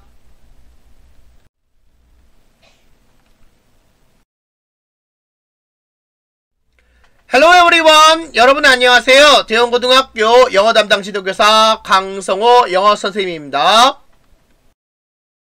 수능 완성 영어 오늘의 수업 진도는 제17강 장문의 이해 첫 번째 시간 1지문 2문항입니다. 17-1번 2번입니다. 다음 글을 읽고 물음에 답하시오. 내용 살펴보겠습니다. 어떤 사람들은 언론의 자유는 사치품이라고 믿는다. 그들의 시각에서 가난한 나라 혹은 사회적, 경제적 문제로 고심하는 나라는 민주주의를 장려하는 것이 아니라 대신에 물질적 복지, 즉 경제 성장과 모든 사람이 음식, 옷, 주거를 가질 기회를 보장하려고 노력해야 한다. 이러한 시각은 매우 잘못된 판단이다. 만일 그것과 관련하여 무엇이 잘못되었는지 우리가 이해한다면 우리는 언론의 사회적 역할에 대해 훨씬 더 잘 이해할 것이다. 많은 국가에서 무엇보다 가장 압도적인 문제는 기근으로 이루어지는데 그것은 음식의 접근이 널리 거부되어 그 결과 다수가 굶주리는 것으로 정의된다. 예를 들어 1950년대 후반 중국의 기근에서 약 3천만 명이 사망했다. 기근 방지에 대하여 걱정이 많은 국가의 언론의 자유는 사치인가? 그런 국가는 민주주의와 언론의 자유가 아니라 대신에 경제 발전에 높은 우선순위를 주는 것이 더 좋은 것일까? 17-1번, 2번 계속 이어집니다. D번의 내추럴을 소셜로 수정을 하겠습니다. 내용 살펴보겠습니다. 사실상 이러한 것은 어리석은 질문이다. 세계 역사상 민주적인 언론과 자유로운 선거를 갖춘 체제에서는 기근이 단 한 번도 없었다는 경제학자 아마르티아 센의 놀라운 연구 결과를 생각해보라. 그가 또한 실증적으로 입증하기도 하는 센의 시작점은 기근이 자연적인 사회적인 결과이며 음식 부족으로 인한 불가피한 결과가 아니라는 것이다. 단순한 부족이 아니라 기근이 있게 될지의 여부는 사람들의 수급권, 즉 그들이 무엇을 받을 수 있는지에 달려 있다. 음식이 한정되어 있더라도 수급권은 아무도 굶주릴 일이 없도록 보장하는 방식으로 할당될 수 있다. 이글 17-1번, 2번의 소재는 민주주의 추구의 정당성입니다. 화면을 멈추고 단어를 점검해 보세요. 17-1번입니다. 윗글의 제목으로 가장 적절한 것은 경제 성장을 위해 가난한 나라들, 빈국들이 자유민주주의를 포기할 필요는 전혀 없으며 오히려 기근과 같은 극단적인 빈곤 문제는 민주적인 언론과 자유로운 선거를 갖춘 체제에서는 발생하지 않았다는 내용의 글입니다. 따라서 글의 제목으로 가장 적절한 것은 4번 Famine, no excuse for the abandonment of democracy. 기근, 민주주의 포기의 핑계가 절대 될 수 없다입니다. 따라서 17-1번의 정답은 4번이 정답이 되겠습니다. 17-2번입니다. 밑주친 A2 중에서 문맥상 낱말의 쓰임이 적절하지 않은 것은 센의 연구 결과로 미루어 보아 단순한 음식의 부족이 기근을 가져오는 것이 아니고 수급권을 통해 음식을 더 잘 배분하면 굶주림이 발생하지 않을 수 있다는 내용이 언급되어 있으므로 기근은 결국 자연적인 결과가 아니라 사회적인 결과로 봐야 할 것입니다. 따라서 D번의 내추럴을 소셜과 같은 낱말로 바꿔야 합니다. 따라서 17-2번의 정답은 4번이 정답이 되겠습니다. 17-3번 4번입니다. 다음 글을 읽고 물음에 답하시오. 내용 살펴보겠습니다. 환경생리학은 다양한 환경에 대한 여러 독특한 적응 형태를 밝혀냈다. 예를 들어 더 추운 지역에 사는 동물들은 더 따뜻한 지방에 사는 근연정보다 몸집은 더 크고 다리, 귀, 꼬리는 더 작은 경향이 있다. 더 큰 몸집은 더 낮은 질량 대비 표면 비율을 가지고 있어서 열을 더 천천히 빼앗기는 반면 더 작은 부속지는 동상에 노출되는 것을 감소시킨다. 가장 극단적인 추위에서라면 어, 온열 동물의 발은 땅에 얼어붙을 위험이 있다. 사양소와 북극곰과 같은 어, 북극 지역의 포유류는 자신의 발을 추위로부터 보호해주는 풍성한 털을 가지고 있어 이러한 조건에서의 생활에 적응되어 있다. 남극에서 펭귄의 발 아래면은 두꺼운 지방층에 의해 보호된다. 펭귄은 또한 그들의 다리에 열 교환, 즉 역류 메커니즘을 가지고 있다. 체내에서 도달하는 따뜻한 피는 발에서 도달하는 냉각된 피에 의해 거의 화씨 32도로 차가워지는데 그것 발에서 도달하는 냉각된 피는 이 과정에서 체온 수준으로 따뜻해진다. 17-3번, 4번 계속 이어집니다. 내용 살펴보겠습니다. 아프리카의 가젤은 체온을 식히기 위해 유사한 역류 시스템을 사용한다. 그들은 자기 머리로 들어가는 피를 냉각시킬 수 있는데 이로 인해 그들은 자주 체온이 올라가는 그들의 포식자보다 유리해진다. 낙타는 비강 내에 열 교환 시스템을 가지고 있어서 이것이 그들의 호흡 중에 손실되는 물의 양을 줄여준다. 뜨겁고 건조한 공기는 흡입되어 폐로 이동하기 전에 코 안에서 수분과 섞인다. 내신 공기는 바깥 공기보다 훨씬 더 차가워서 그것이 운반하는 습기의 대부분은 코 안에서 사라진다. 응결된다. 이렇게 해서 다음 들숨을 시키는 데 필요한 시원하고 축축한 상태가 만들어진다. 이 글 17-3번 4번의 소재는 환경에 대한 신체적 적응 형태에 의한 체온 관리입니다. Culture note 설명입니다. ecophysiology, 환경생리학인데요. 생태학, ecology와 생리학, physiology 이 두 개의 단어가 융합된 학문으로 온도, 습도, 빛 등 사회적 요소들에 대한 생물의 반응을 조사하는 학문을 뜻합니다. 화면을 멈추고 어휘들을 점검해 보세요. 17-3번입니다. 윗글의 제목으로 가장 적절한 것은 추위나 더위 속에 사는 동물이 이러한 조건에서 생존에 적합하도록 독특한 신체적 적응 형태를 가지고 있다는 내용과 그 사례를 보여주고 있는 글입니다. 따라서 글의 제목으로 가장 적절한 것은 5번 Physical Adaptations that Regulate Animals' Body Temperature 동물 체온을 조절하는 신체 적응입니다. 따라서 17-3번의 정답은 5번이 정답이 되겠습니다. 17-4번입니다. 밑주친 A2 중에서 문맥상 낱말의 쓰임이 적절하지 않은 것은 낙타의 코로 흡입된 뜨겁고 건조한 바깥 공기가 코 안에서 수분과 섞여 차가워지게 되고 이것이 다시 내쉬어지게 되면 뜨거운 바깥 공기와의 온도 차이로 인해 이것이 가지고 있는 수분이 코 안에서 사라지는 것이 아니라 응결되는 현상이 일어날 것이므로 이번에 disappears를 condenses 같은 낱말로 바꿔 써야 합니다. 따라서 17-4번의 정답은 5번이 정답이 되겠습니다. 여러분 반드시 기한 내에 출석 인증을 완료해 주세요. 오늘 수업은 여기까지 하겠습니다. 여러분 수고하셨습니다.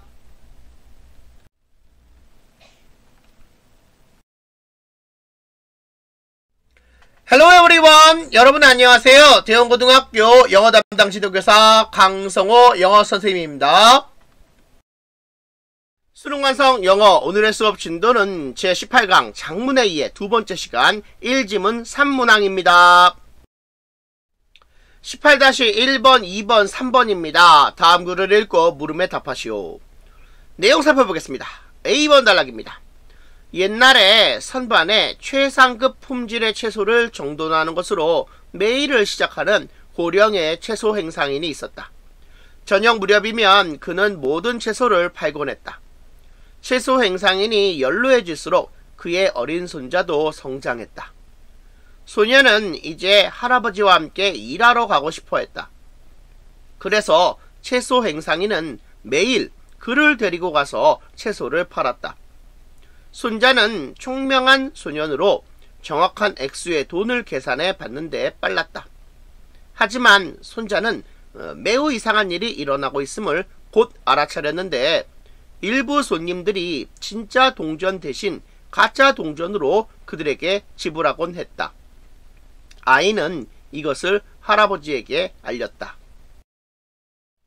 18-1번, 2번, 3번 계속 이어집니다. 내용 살펴보겠습니다. C번 단락입니다. 하지만 그의 할아버지는 그 동전을 거절하는 대신 그것을 여전히 계속 기꺼이 받았다. 그 어린아이는 그에게 가짜 동전을 주는 특정 손님들에 대해 그가 왜 어떠한 행동도 취하지 않는지 항상 궁금했다. 훨씬 더 놀라운 것은 그가 가짜 동전 중 어떠한 것도 다른 사람에게는 넘겨주려 하지 않는다는 점이었다. 대신에 그는 그것들 각각을 간직했고 많은 양을 모으게 되면 구덩이를 파서 거기에 그것들을 놓아두곤 했다. 18-1번, 2번, 3번 계속 이어집니다. 내용 살펴보겠습니다. B번 단락입니다.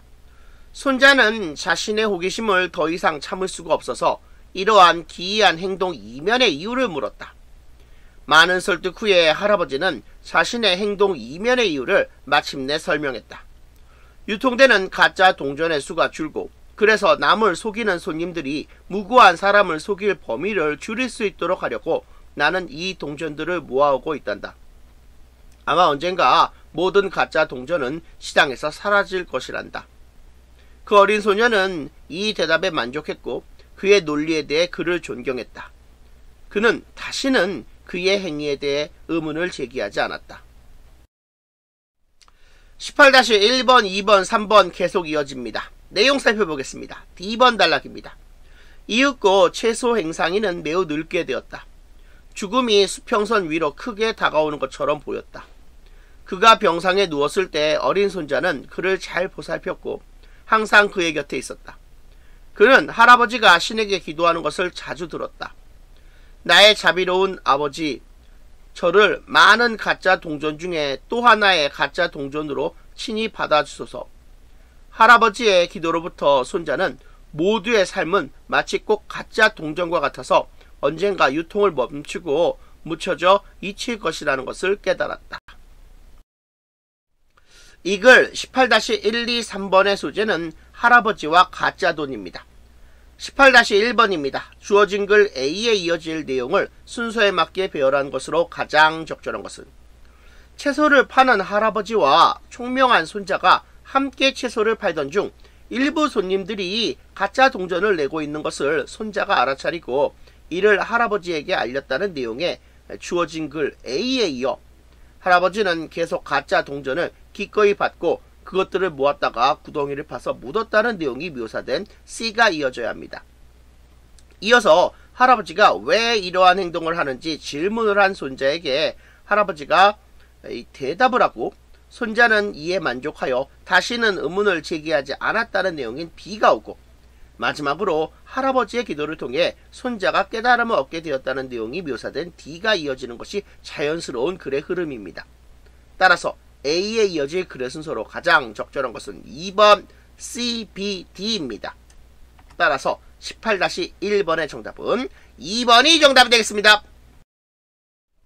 18-2번입니다. 밑주친 A, E 중에서 가리키는 대상이 나머지 넷과 다른 것은 B, C, D, E는 모두 할아버지를 가리키고 A는 할아버지의 손자를 가리키고 있습니다. 따라서 18-2번의 정답은 1번이 정답이 되겠습니다. 18-3번입니다. 윗글에 관한 내용으로 적절하지 않은 것은 C의 후반부에 손자가 아니라 할아버지가 가짜 동전을 간직했고 많은 양을 모으게 되면 구덩이를 파서 묻었다고 설명하고 있습니다. 따라서 글의 내용과 적절하지 않은 것은 4번 손자는 할아버지 몰래 가짜 돈을 구덩이에 묻었다입니다. 따라서 18-3번의 정답은 4번이 정답이 되겠습니다. 18-4번, 5번, 6번입니다. 다음 글을 읽고 물음에 답하시오. 내용 살펴보겠습니다. A번 단락입니다. 6살 때 성탄절 기간 바로 직전에 세라는 어머니와 식료품 가게에 있었다. 계산대에서 그녀는 어린 동생을 위한 완벽한 선물을 보았는데 그것은 멀서 메이어 팝업북이었다. 세라는 동생인 에이미가 그것을 매우 좋아할 거라 생각했다. 그래서 그녀는 어머니에게 그 책을 그녀가 사고 있는 어, 식료품에 추가해달라고 부탁했다. 성탄절 전날 저녁 세라는 그 책을 포장하러 갔다. 그러나 그녀는 포장하기 전에 그 책을 훑어보고 그 이야기를 읽기로 했다. D번 지문입니다. 바로 그때 세라는 페이지 중 한 장이 손상된 것을 발견했는데 그 페이지를 가로질러 조그만 생쥐를 쫓아가고 있는 고양이가 그 책에서 찢겨 나가 있었고 남아있는 것이라고는 고양이가 한때 앉아 있었던 곳에 약간의 너덜너덜한 종이와 풀뿐이었다. 세라는 망연자실했고 성탄절 전에 그 가게에서 새로운 책을 받을 방법이 전혀 없을 거라는 것을 알고는 눈물을 흘리며 그 책의 상태를 어머니에게 말했다. 어머니는 세라의 눈물을 닦아주었고 어쨌든 그 선물을 포장하라고 그녀를 격려했다. 18-4번, 5번, 6번 계속 이어집니다. 내용 살펴보겠습니다. B번 단락입니다. 성탄절 아침 에이미는 언니로부터 받은 선물을 열었다. 에이미가 그렇게 할 때 세라는 선물의 상태에 대해 미리 사과했다.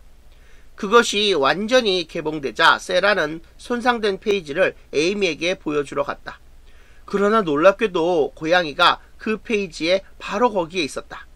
그리고 세라는 손잡이를 당길 수 있었고 고양이는 페이지를 가로질러 종종 걸음을 치게 되었다. 그것은 성탄절 기적이었다. 그녀는 혼란스러웠지만 에이미에게 주는 자신의 선물이 완벽해서 매우 행복했다. C번 단락입니다. 몇 년 후 세라는 그 팝업북을 자세히 살펴보다가 그 고양이가 책의 나머지와 완전히 같은 스타일은 아니라는 것을 알아차렸는데 그것은 책의 나머지보다 약간 더 광택 나는 종이에 그려져 있었고 선은 훨씬 더 어두워 거의 마치 사인펜으로 그려진 것 같았다. 타고난 미술가였던 그녀의 어머니가 그 성탄절 선물을 풀어 바꿔놓을 고양이를 손으로 그려 색칠하고 새로 만든 고양이를 책에 풀로 붙인 것이었다. 그런 다음 그녀는 마음이 몹시 상한 딸이 전혀 알지 못하게 그 선물을 다시 포장해 성탄절 나무에 다시 가져다 놓았던 것이다. 이 글 18-4번, 5번, 6번의 소재는 성탄절 선물입니다. 화면을 멈추고 어휘와 어구를 점검해 보세요. 18-4번입니다. 주어진 글 A에 이어질 내용을 순서에 맞게 배열한 것으로 가장 적절한 것은 세라가 동생 에이미의 성탄절 선물로 팝업북을 사는 내용인 주어진 글 A에 이어 그 팝업북에 고양이가 찢겨 나가 있는 것을 성탄절 전날 저녁에 알게 된 세라가 어머니에게 이를 알렸고 어머니는 그래도 그 선물을 포장하라고 격려했다는 내용의 D가 이어져야 합니다. 다음으로 성탄절 아침에 세라가 에이미에게 선물을 주었는데 놀랍게도 고양이가 제대로 붙어 있었다는 내용의 B가 이어진 다음에 몇 년 후 세라가 그 팝업북을 자세히 살펴볼 때 어머니가 다시 고양이를 그려 붙여둔 것을 알게 되었다는 C가 마지막에 오는 것이 글의 자연스러운 흐름입니다. 따라서 A에 이어질 글의 순서로 가장 적절한 것은 4번 DBC입니다. 따라서 18-4번의 정답은 4번이 정답이 되겠습니다. 18-5번입니다. 밑 주신 A, E 중에서 가리키는 대상이 나머지 넷과 다른 것은 일단 그 D번은 세라의 어머니를 가리키고 있고요. 나머지는 모두 세라를 가리키고 있습니다. 따라서 18-5번의 정답은 4번이 정답이 되겠습니다. 18-6번입니다. 윗글에 세라에 관한 내용으로 적절하지 않은 것은 성탄절 전에 책을 새 것으로 교환할 수 없을 것이라는 것을 알고는 눈물을 흘리면서 책이 손상되었다는 것을 어머니에게 알렸다는 내용이 있으므로 세라에 관한 내용으로 적절하지 않은 것은 5번 성탄절 전에 책을 새 것으로 교환할 수 있다는 것을 알았다입니다. 따라서 18-6번의 정답은 5번이 정답이 되겠습니다. 여러분 반드시 기한 내일에 출석 인증을 완료해 주세요. 오늘 수업은 여기까지 하겠습니다. 여러분 수고하셨습니다.